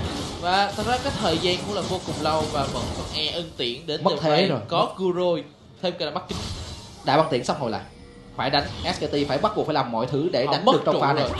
họ đang đứng phía sau lưng Kuro đang đứng xa nhất về phía sau bên phía đội hình của Rock Tiger. Anh ta đang giữ vị trí Faker đặt cầu nhưng không thể nào tiến vào được. Một cửa dành cho Rock Tiger. Vấn đề tiếp theo họ đi đâu đường trên lính đợt lính này cực lớn đang đẩy vào. Rock Tiger mà tận dụng đợt lính này sẽ là hai cửa rất dễ dàng dành cho họ. Thậm chí là chống chịu đi ra chẳng có vấn đề gì. Khi mà họ có được đến ba bùa lợi rồng nước thì sát thương của trụ không có bất kỳ ý nghĩa nào cả và khả năng hồi phục cực kỳ tốt của từ tất cả thành viên của Rock Tiger vì hãy nhìn bây giờ. Sau cái thời gian kéo máu đến từ ban chiếc cứu và Kuro thì bây giờ ta đã hồi phục và đầy đủ lượng máu của mình rồi. Và lớn khu vực trên đợt lính khổng lồ này. Hai con xe? Đại băng tiễn trúng vào Faker Binet lao thẳng vào tìm kiếm Faker Faker đã tông biến thoát đi. Xoáy vẫn kịp nhưng sóng âm đã trúng. Binet không đủ tầm để bay vào. Anh ta đã đứng lại tại đó nhưng Giáp Thiên Thần vẫn còn phía bên ngoài đồng đội của ta đã lấy được trụ ba. Võ tiếp tục tiến vào Kuro tốc biến lên dùng chiều cuối đẩy vàng ra khỏi khu vực giao tranh. Và hai cửa cho Rock Tiger. Họ nhận thấy rằng có thể không cần phải đợi nữa. Có thể không cần thêm một trụ, một đường nào nữa. Mà chỉ cần lao vào để dứt điểm mà thôi. Faker đã không còn chiêu cuối. Mối đe dọa lớn nhất đến từ SKT đã không còn. Ban bị đẩy lui bởi Snap không cách nào tiến lên được cả. Ray đang quay qua. Bắn liên tục vào Duke và Ray thậm chí không cần quan tâm. Duke bị kẹt bởi lính. Và anh ta mất giác thiên thần anh ta kẹt giữa lính. Và cái trụ ba, cái bẫy đột nhiên xuất hiện và đốt nằm xuống. Đã không còn cơ hội cho SKT ở trong quán đấu này nữa rồi. Họ bây giờ chỉ còn 4 người. Và đối phương vẫn còn bù lợi Baron, còn đủ 5 người. Có đại băng tiện Blanc bị tấn công. Anh ta chạy thoát được nhưng cái trụ nhà chính thứ hai của SKT thì chẳng mọc được chân để chạy đi đâu cả. Kuro là người phá hủy nó Peanut lao vào, tung cú đá chiếc điểm được đối phương và Rock Tiger chiếc điểm ván đấu thứ ba vươn lên dẫn trước 2-1 Và đây là lần đầu tiên mà Rock Tiger đối mặt với SKT mà họ cơ hội dẫn trước với tỷ số 2-1 và có cơ hội giành chiến thắng. Rock Tiger thật sự đang khiến cho tất cả tất cả mọi người hâm mộ của họ và không chỉ như vậy, những người xem chung kết thế giới hiện tại tất cả mọi người đều đang muốn xóa bỏ ách thống trị của SKT Tôi nghĩ là phần đông nếu như bạn không phải là cổ động viên của SKT thì tôi nghĩ phần đông người hâm mộ đang cổ vũ cho Rock Tiger bởi vì bởi vì họ họ thực sự họ đang thi đấu và họ chứng minh rằng họ xứng đáng có được chiến thắng. Nhưng đây là BO5. Đây là BO5 nhắc lại một lần nữa vẻ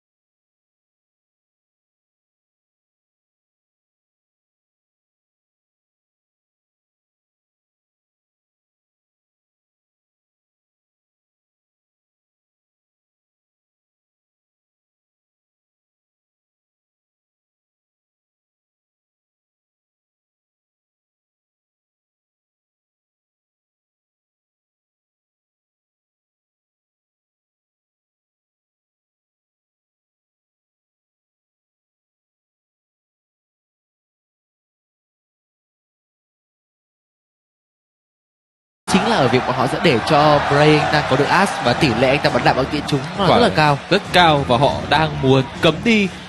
Nhưng họ không cấm đi as thực ra mà nói thì tôi nghĩ rằng cái mấu chốt quan trọng các cặp đôi đường dưới bên phía Rose Tiger đó là con bài Miss Fortune kia. Khi mà cái cô nàng này luôn luôn dồn được một tấn sát thương vào mỗi khi mà cái chiêu cuối của Ash găm vào đầu của Wolf. Và nó khiến cho Wolf anh ta luôn luôn rơi vào cái trạng thái là trong cả hai trận đấu, mỗi khi anh ta đi kiểm soát bản đồ, anh ta luôn là cái mục tiêu bị nhắm tới và luôn luôn là người lên bảng điểm số đầu tiên. Chỉ vậy SKT không muốn cho con bài Miss Porter này xuất hiện tại vị trí hỗ trợ khu vực đường dưới. Họ cấm nó đi. Thêm vào đó nữa, họ cấm Jace và cả vị thần ác long thượng giới Aurelion Sol cũng sẽ không được xuất hiện đến từ bên phía của Rose Tiger. Còn trong khi đó, phía bên kia thì Rose Tiger cấm đi con bài Sinra bậc pháp sư lang thang cổ ngữ cũng sẽ không được có trận thi đấu này và cả cô nàng hóa đá Cassiopeia cũng sẽ bị cấm. Rob Steiger ở đội 2 nhưng họ lại không cấm Niali và ngay lập tức tôi thấy Ben Ghi khóa lại ngay cái sự chọn này. Bengi được ưu tiên lựa chọn sớm cho mình đó là Diali ở trong rừng chứ không phải là sự chọn Olaf ở trong những ván đấu vừa qua đến từ cả chính anh chàng này cũng như là cặp lanh. Trong khi đó Rob Steiger rõ ràng đối phương đã có vị trí Niali rồi bạn không việc gì phải lấy sớm như mình Olaf cũng như Rek'Sai hay là Lee Sin cả. Mà ưu tiên cho sự lựa chọn bộ đôi đường dưới nó là quá mạnh đó chính là As đi cùng cả Ồ, oh, và như vậy là SKT nhất là Bengi khi mà anh ta quay ngược trở lại với trận đấu này. Không phải là blank nữa, thì cái cách chơi của Bengi luôn luôn là kiểm soát bản đồ và kiểm soát đường giữa cho Faker. Anh ta có được cho mình cái con bài Nearly kia thì chắc chắn rồi, cái khả năng anh ta dọn dẹp quái rừng và thậm chí cắm ra những con mắt và những cái bẫy xung quanh khu vực đường giữa để bảo đảm cho Faker anh ta an toàn. Thì nó sẽ là một cái gì đó rất đáng an tâm cho SKT nhưng từ nãy giờ chúng ta nhận ra rằng là cả hai trận, hai và trận 3 thì cái mấu chốt là SKT họ thua tại khu vực đường dưới khi mà Prey luôn luôn là cái nhân tố để kéo cả Peanut, cả Gorilla họ đều đi lên. Chỉ vậy nên trận đấu này khi mà Bengi anh ta xuất quân với con bài Nearly thì rõ ràng anh ta không chỉ quan tâm đến Faker, anh ta phải quan tâm cả Ben và Wolf nữa. Bây giờ thì bộ đôi đường dưới SKT có thể sẽ là Jin đi cùng với các trong trường hợp Faker không muốn sử dụng cái vị tướng ở tại khu vực đường giữa. Tôi tin rằng nếu chúng ta xếp mặt chất tướng có lẽ Jin Kama sẽ không quá phải đáng ngại cái sự áp lực gây ra đến từ cả Ash cũng như là cả Zara ở khu đứng dưới. Trong trường mà bạn sẽ cố gắng sử dụng nội hỏa và kinh mancha cũng như lựu đạn nhảy múa đến từ hai vị tướng kia SKT sở hữu để đẩy nhanh đường ở khu vực đường dưới này. Thực sự thì sau chiến thắng đầu tiên của SKT đến ván đấu thứ hai tôi tin rằng có lẽ sẽ rất nhiều người thắc mắc rằng tại sao Bengi không đánh tiếp. Trong khi rõ ràng ván đầu tiên là thể hiện tốt. Ừ, tôi nghĩ rằng là họ SKT cũng muốn cho Bang những cơ hội để có thể được Black à Blank. Cho Blank có một cơ hội để thể hiện ở trong cái trận cặp BO5 này nhưng rất tiếc thì tôi cũng phải đồng ý với anh luôn rằng là cái cách mà uh, Blank anh ta sử dụng cái con bài Olaf nó thật sự không hiệu quả. Cách anh ta kiểm soát bản đồ cũng chưa được tối ưu và mỗi khi mà anh ta đi ganh anh ta thường thường ném những cái dìu nó rất sớm và nó khiến cho đối thủ rất dễ né ra khỏi những tình huống ganh đó. Còn SKT lúc này đây họ đang muốn chơi một cái đội hình mà xoay quanh cái khả năng giao tranh tổng rất lớn đến từ việc là có cái con bài ở Jin kia. Nhưng nếu mà khóa thêm được cả vào Na và cả thậm chí là Zilin nữa, thì nó sẽ phải chờ rất lâu về sau thì họ có thể giao tranh được. Chứ về đầu trận đấu tôi không nghĩ là cái, những cái bộ tướng như thế này là có đủ sát thương để có thể tiêu diệt được phía bên kia. Nào là Olaf, nào Zaira và thậm chí Victor, những vị tướng kia đều có khả năng giữ chân và thậm chí chạy thoát rất tốt. Nếu như đã quyết định lựa chọn Zilin cho Faker khung đường giữa thì thường tôi sẽ nghĩ đến một vị tướng xạ thủ bạn có khả năng gây ra sát thương liên tục bắn cực kỳ ra ở đoạn nửa sau những đề một vị tướng nạp đạn. Và có vẻ như đây là một sự chọn mà anh chàng Faker. Có lẽ anh ta muốn tăng thêm khả năng sống sót cho Niali ra đầu trận đấu. Ừ. và giúp cho cái vị tướng Na thể đúc ở đoạn nửa sau sẽ khỏe hơn bởi vì Na thì thường là bạn sẽ lên cái bộ đôi búa bằng cái dính đen đúng không? Thì nếu như bạn ở trong dạng Na tí hon bạn có cơ hội được bắn thì tôi tin rằng vẫn có thể được coi như là một xạ thủ thứ hai vậy. Thì sự chọn này có vẻ như sẽ là hợp lý dành cho Faker ở khu đứng giữa còn dĩ nhiên là Smash anh ta sẽ muốn tiếp tục giữ cho mình cái sự chọn Rumble rồi. Không sai thì khỏi sửa, đúng không? Anh ta đang làm rất tốt với con bài Rumble tại khu vực đường trên này và rõ ràng rồi. Nếu như anh ta vẫn tiếp tục có những cái chuỗi ngày thăng hoa như vậy, thì sẽ là rất đẹp cho Rose Tiger trong trận thi đấu này. Nhưng đúc tôi nói cái kèo này ở đường trên, anh ta chơi rất tốt. Kèo na đi đường trên với cả Rumble, anh ta chơi rất tốt tại LCK luôn. Chỉ vậy nên nếu như Peanut mà anh ta không có những cái động thái quá mạnh mẽ lên cuộc đường trên thì tôi bảo đảm rằng lúc anh ta không sợ uh, vị trí của Smep cho lắm. Và chính vì vậy nên trận đấu này nó sẽ là một cái bài toán giữa Bengi và Peanut. Họ sẽ muốn nhắm vào khu vực đường nào. Nếu như Benji anh ta hoàn thành tốt với cái việc bảo kê rừng và thậm chí anh ta bảo kê được tốt đường giữa tạo ra áp lực lớn tại khu vực đường dưới cho Jin được múa một ít trong dạng đầu trận đấu. Đến khi anh ta có đồ thì khi mà những sân khấu tử thần dựng ra với những cái pha lao vào đến từ cái con bài na kia rõ ràng nó sẽ là một tiền đề cực mạnh để cho bên phía của SKT họ kiểm soát những cái mục tiêu từ xa bằng những chiêu thức từ rất xa của mình Nếu như chơi tốt như trong màn đấu đầu tiên, Bengi hoàn toàn có thể bẻ gãy được rất sớm những cái đợt tiếng Anh đầu tiên đến từ Olaf trong tẻ chạm bí nát kia. Có thêm cái điểm nữa là Niali trong tẻ của anh ta. Rõ ràng là chúng ta xét vào độ cơ động cũng như khả năng di chuyển Niali sẽ được đánh giá cao hơn bởi vì Olaf là một vị tướng mà bạn không thể nào mà vượt địa hình được, không băng rừng vượt suối được. Trong khi đó Niali bạn hoàn toàn có thể nhảy qua được những cái vách tường rất là hẹp tại những khu vực như kiểu là hang rồng, Hamberon hay là búa xanh bùa đỏ thì có thể đây sẽ là một cái cơ hội cho Benji anh ta đưa cặp đấu BO5 này trở về với một tỷ số đó là hai đều. Và hãy để xem rằng liệu Benji cũng như đồng đội của anh ta sẽ làm được gì trong ván đấu cuối cùng này. Ván đấu nhà đương kim vô địch có thể gọi là tiếp tục con đường bảo vệ hành trình ngôi vương của mình. và SKT với Rose Tiger trận thi đấu thứ tư chính thức bắt đầu, khi mà cả 10 thành viên đã đều xuất quân rồi, bên phía của Rose Tiger, họ di chuyển cả 5 người vào bên trong khu vực rừng của mình và đang không giấu ý định sẽ muốn lao qua để kiểm soát khu vực rừng của SKT Và trong khi đó, phía bên kia thì SKT họ chỉ đơn giản là chia cả 5 người ra 5 mạn rừng để có thể phòng bị mà thôi. Faker nhận ra là Rose Tiger có ý định muốn xâm lăng rừng.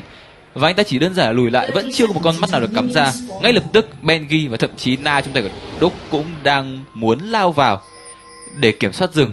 Nhưng tôi nghĩ là nên ở đây là dừng lại là được rồi. Bên phía bên kia họ cũng đã quay ngược trở lại chứ chưa kiểm soát tầm nhìn tí nào cả. Chỉ vậy, những cái thời điểm như này tốt nhất không nên để như trong trận 2 Wolf anh ta mất tốc biến từ rất sớm. Không có mắt cắm ra lại vào khu vực bùa đỏ SKT từ Rock Nhưng bên kia tôi đã thấy có một con mắt cắm ra đến từ Na trong tay của Đức tại khu vực đứng trên. Họ sẽ có thể tạm thờ phần đó dọa đầu trận đấu này. Biết và đoán được một phần nào đó cái hướng di chuyển đi ăn rừng đến từ Olaf trong tay ở trạm bí nát kia. Thật sự thì một trận đấu mà có lẽ đường giữa đến từ Faker và Kuro. Tôi thấy rằng trong ba ván đấu vừa qua thì Faker không có thua đường và nếu như bạn cầm Zilin đánh với cả vị tướng Victor này thì có lẽ đường giữa ông cần phải canh quá nhiều. Thực ra Zilin là một trong những cái chất tướng uh, pháp sư hỗ trợ. Chính vì vậy nên là anh ta có thể tự sinh tự diệt được khu vực đường giữa nếu như có được một lượng mắt hợp lý. Khi mà anh ta lên được cho mình cấp độ 6 thực sự chả cần đâu. Tôi nghĩ là ganh của Zilin cực khó nếu mà anh chàng này anh ta sử dụng cho mình cái tăng tốc lên. Và với việc mà Faker anh ta, từ nãy giờ tôi cảm giác rằng đây là một cái cặp BO5 mà Faker anh ta đánh rất đúng phong độ của mình. Anh ta luôn luôn có những chỉ số lính vượt thời gian và luôn luôn không để thua đối thủ kể cả có bị đảo ra khỏi thăm bao nhiêu lần chăng nữa. Chính vì vậy nên nó phụ thuộc rất nhiều vào cái cặp đôi đứng dưới bên phía SKT. Họ sẽ phải giữ trận đấu này lại bởi vì từ nãy giờ tôi thấy rằng Prey, anh ta cứ tung ra cái chiêu cuối là nó sẽ trúng và kiểu gì cũng phải trúng từ rất xa cái khả năng giữ chân nó rất lớn. Chia vậy nên là Frey anh ta đang là một cái nhân tố rất quyết định cho FK Group Tiger. Nếu như chúng ta nhìn vào đội hình cả hai bên mà xét mà lý thuyết thôi, tôi tin rằng SKT có thể yên tâm về đường trên cả khu đường giữa. Thế nhưng anh Phương đã chia sẻ và cũng như lần gần nhất ở tại chính chung kết thế giới này, thì cái kèo đấu Na với cả Rumble này, lúc anh ta hành được Looper đúng rồi thì tôi vậy tin rằng ở trong trận đấu này của Smash thì có vẻ như anh ta cũng sẽ không bị thua được quá nhiều đâu. Có Jilin cả Victor chúng ta vừa phân tích xong. Bây giờ đúng thật là chỉ có tập trung ở khu vực đường dưới mà thôi. Hãy để xem rằng sau khi anh chàng Benji kia anh ta ăn đi những mạng rừng khu vực đường dưới đặc biệt con bồ đỏ này thì liệu có một hướng xuống khu đường dưới kia để cắm mắt hay không? Bên kia anh ta còn trừng phạt. Có lẽ rằng anh ta sẽ không ăn con rừng này mà tốn nhiều máu cho lắm. Trừng phạt sẽ hút cho anh ta hồi lại một lượng máu lớn. Ờ, cũng không lớn lắm chỉ là nửa lượng máu mà thôi và có lẽ rằng là anh ta chỉ farm xong người đá rồi sẽ về, chứ không có những cái tình huống đảo qua hỏi thăm khu đường dưới. Còn Olaf trong tay của Pinat thì anh ta cũng đã hoàn thành xong mới chỉ là bùa xanh, bây giờ mới tiến vào ăn bùa đỏ. Như vậy cả hai người chơi đi rừng sẽ đều tiến về. Với cái việc là Pinat anh ta tăng cho mình vào hai điểm chiêu quy thì sẽ không có những tình huống muốn đi ganh sớm. Nhưng Benji khác với những gì tôi dự đoán anh ta đang muốn xuống khu vực đường dưới và đã đi qua một con mắt. Ừ, bởi vì là Niali trong tay anh chàng này thì có khả năng tự ở máu cho bản thân là bạn không cần có thêm bất cứ mục tiêu nữa. Khác với cả việc Olaf thì bạn cần phải có những mục tiêu là quái rừng hay là lính để bạn gõ vào bạn hồi máu được. Bengi sẽ tạo ra được một lượng tầm nhìn không thể phá hủy ở khu vực đường dưới này. Còn trước đó thì Binat trong một tình huống đi đứng trên anh ta cũng đã tạo ra được tầm nhìn đảm bảo an toàn cho Rumble trong tài Smash và Bengi đang muốn hướng ra khu đường giữa để ganh. Tôi cần phải chờ những quả bom trúng đến từ vị trí của Faker. Trúng. vừa nói xong trúng bom. Khi Rồi. làm choáng thì rõ ràng là Kuro phải tốc tiến đi rồi nếu như không muốn mũi lao kiểu Bengi chúng vào mình ở khu đường giữa. Vẽ chúng ra khu đường dưới và họ đang giao tranh. Ben đang bị mất rất nhiều máu và cả thiêu đốt trên đầu nữa. Nhưng Bray phía bên kia có kiệt sức và tốc biến lên đến từ beng với viên đạn. Chỉ là viên đạn quy của mình mà thôi. Lao. Một mũi lao nó không trúng đang khép góc rồi Bengi anh ta không muốn cho ai về cả, nhưng đằng sau Bengi là một thế lực, là cả Vinat và cả người chơi đường giữa nữa mà đã ép được tốc biến trong tay Gorilla và đó là một pha ganh tôi nghĩ thành công, bởi vì nó ép được tốc biến của Gorilla còn trước đó thì Bray anh ta cũng đã mất hồi máu và tốc biến đi rồi. Ngỡ tưởng chừng là Ben anh là người nằm xuống trong tiếng trước đó khi mà đã dính cả một cái thiêu đốt trong tay của Zara nữa và lượng máu của anh ta là rất thấp. Nhưng cái cái cách mà Wolf anh ta khép góc là vô cùng tuyệt vời. Hình như là cái pha anh chàng Ben kia tốc biến ngược lại thì anh ta không kịp bắn phạm thứ tử của mình tôi thấy rằng anh ta chỉ kịp vung tay để ném một cái lựu đạn nhảy múa trên cái quãng đường mà Bray đã tốc biến ngược trở về trụ một tại khu đường dưới. Và như vậy là không có được điểm chiến công đầu tiên dành cho bộ đôi của SKT còn đường giữa này. Rõ là rồi. bắn bom trên đầu lên bảng điểm số và đó điểm chiến công của Jilin. Trong giải Faker bị đã bật tốc bành lên chỉ cần Bengi anh ta né được cú quăng dìu tôi tin rằng anh ta hoàn toàn có thể thoát được bởi vì Niali có thể nhảy qua tường. Bengi bật chế độ né và anh ta né hết tất cả những cái dìu trong tay của Olaf và anh ta thoát về thành công trong một tình huống vượt trụ tại cấp độ 4 của mình. Và khởi động vẫn là Faker, anh ta vẫn ném được hai quả bom vào đầu của đối thủ làm choáng. Và cái lượng sát thương đến từ hai quả bom là rất lớn, nó khiến cho Bengi anh ta đơn giản trong việc rút thương lượng độ của mình. Có được cái chiến công đầu đó và chúng ta hãy xem lại tình huống này. Từ nãy giờ Faker, anh ta vẫn làm rất tốt với con bài di lần khu đường giữa này, làm chậm vào đầu Kuro bằng bẻ cong thời gian. Và hai quả bom không thể xịt được khi mà Kuro, anh ta hết năng lượng lại còn hết tốc biến nữa, thì bạn sẽ chạy đi đâu bây giờ? Và đơn giản cho Bengi để anh ta có điểm hạ gục và tốc biến qua tường. Bengi có lẽ anh ta sẽ muốn tiếp tục khoét sâu vào cái vị trí Kuro tại khu đường giữa khi ở Victor đang không còn mình tốc biến. Cũng như một phần nào đó chính là Zara trong tải Gorilla tại khu đường dưới khi trước đó cũng chính là Bengi đã tước đi tốc biến đến từ người chơi hỗ trợ của Rockstiger hiện tại thì cái kèo đấu khu đường giữa này, chúng ta lại thấy Faker là người đang có được một lượng chỉ số lính là nhiều hơn. Và đường dưới thì có vẻ đã có sút khởi sắc rồi. Khi Jin trong tay của bang đang có một lượng chỉ số lính tốt hơn so với cả Ash trong tay của Prey. Như Victor trong tay của người chơi Kuro là một cái thương hiệu và chúng ta luôn luôn biết rằng cái anh chàng Kuro này cầm Victor khủng khiếp đến như thế nào trong những cái trận đấu mà Rose Tiger họ sử dụng tại vòng bảng. Chính vì vậy nên cũng chưa thể nào nói trước được cái tương lai nếu như Faker mới chỉ có một điểm hạ gục dẫn trước mà thôi. Anh ta về nhà hoàn thành cho mình được cái viên đá vĩnh hằng và có lẽ nó sẽ dẫn lên. Đó là cái anh ta sẽ lên cái gì? Ờ, tôi nghĩ là chỉ là cái gậy ờ, ấy thôi gậy gậy chỉ đường sinh không sinh thôi đúng vậy. Và nó sẽ không có nhiều những cái bất ngờ gì ở đây bởi vì đây là một trận đấu mà SKT họ đã phải dựa lưng vào tường rồi. Họ buộc phải thắng hai trận đấu liên tục nếu như muốn bước tiếp vào chung kết của giải đấu này. Chính vậy nên không có những cái, cái tình huống nào là YOLO đâu. Tôi đánh giá là như vậy. Thậm chí là Peanut trận này Lee Sin vẫn còn nhưng anh ta cũng không muốn sử dụng Lee Sin nữa. Có lẽ SKT họ đó sẽ muốn có những hướng lên đồ. Để theo kiểu dạng đầu tiên là an toàn trước đã. Và cái thứ hai là những cái món đồ đấy nó sẽ phát huy được tác dụng tối đa ở đoạn nửa sau. Ví dụ như là cái triệu chứng sinh cái từ factor tại cùng đường giữa này. Thực ra là nếu mà nói về một cái phát huy hiệu quả tôi vẫn nghĩ ra một món trang bị nữa đó là cái súng hashtag súng hashtag cũng hợp lý. Mặc dù Jilin là một vị tướng bạn đã có khả năng làm chậm rồi nhưng đôi khi bạn lại sử dụng cái kỹ năng để tăng tốc độ lên.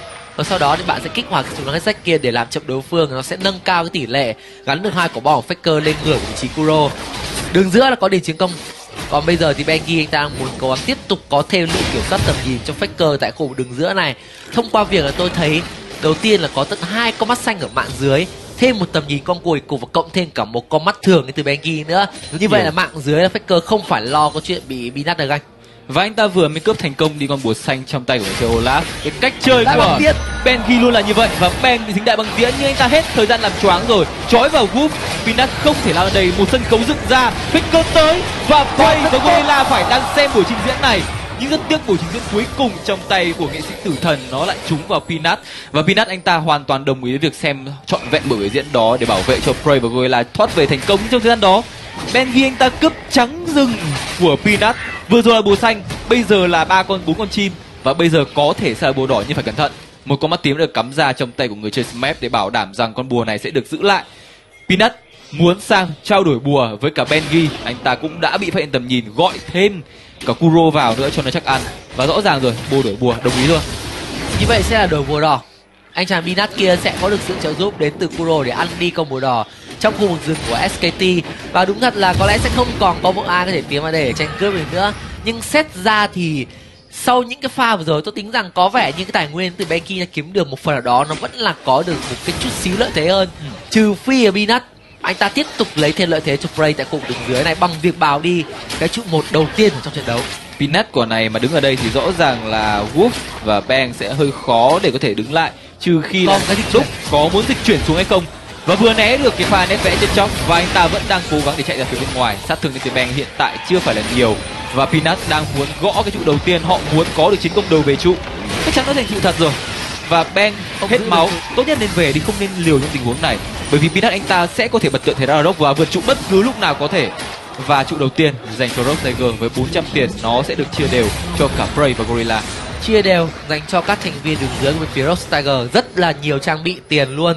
Thậm chí rằng bọn họ còn có một cái lưỡi hái lên từ sớm đến từ vị trí của Prey nữa. Anh ta chỉ còn khoảng có 66 chỉ số lính nữa thôi. Là anh ta sẽ tiêu thụ được hết lưỡi hái đó và vừa rồi, lại là đại băng tiễn lần thứ hai và chắc chắn rằng anh chàng bé kia phải tốc biến đi. Nhưng sau khi nhận thấy tình huống xạ thủ SCT mất tốc biến, Sven dịch chuyển xuống đường dưới này. Anh ta quét một chiêu cuối bé chỉ mất đi khoảng chừng đó là một phần tư cây máu mình thôi. SKT tập hợp đầy đủ 5 người ở khu vực đường dưới. Mũi là là công chúng và bang có cơ biểu diễn thêm lần thứ hai. Hai phát đạn đã trượt rồi phát đạn thứ ba chúng phát thứ tư phải có người đỡ nhưng cùng không một ai đỡ cả. Gorilla lên bảng đến số luôn. Becky khắc được dấn lên đầu. Smash tiếp tục mũi lao đã thành công.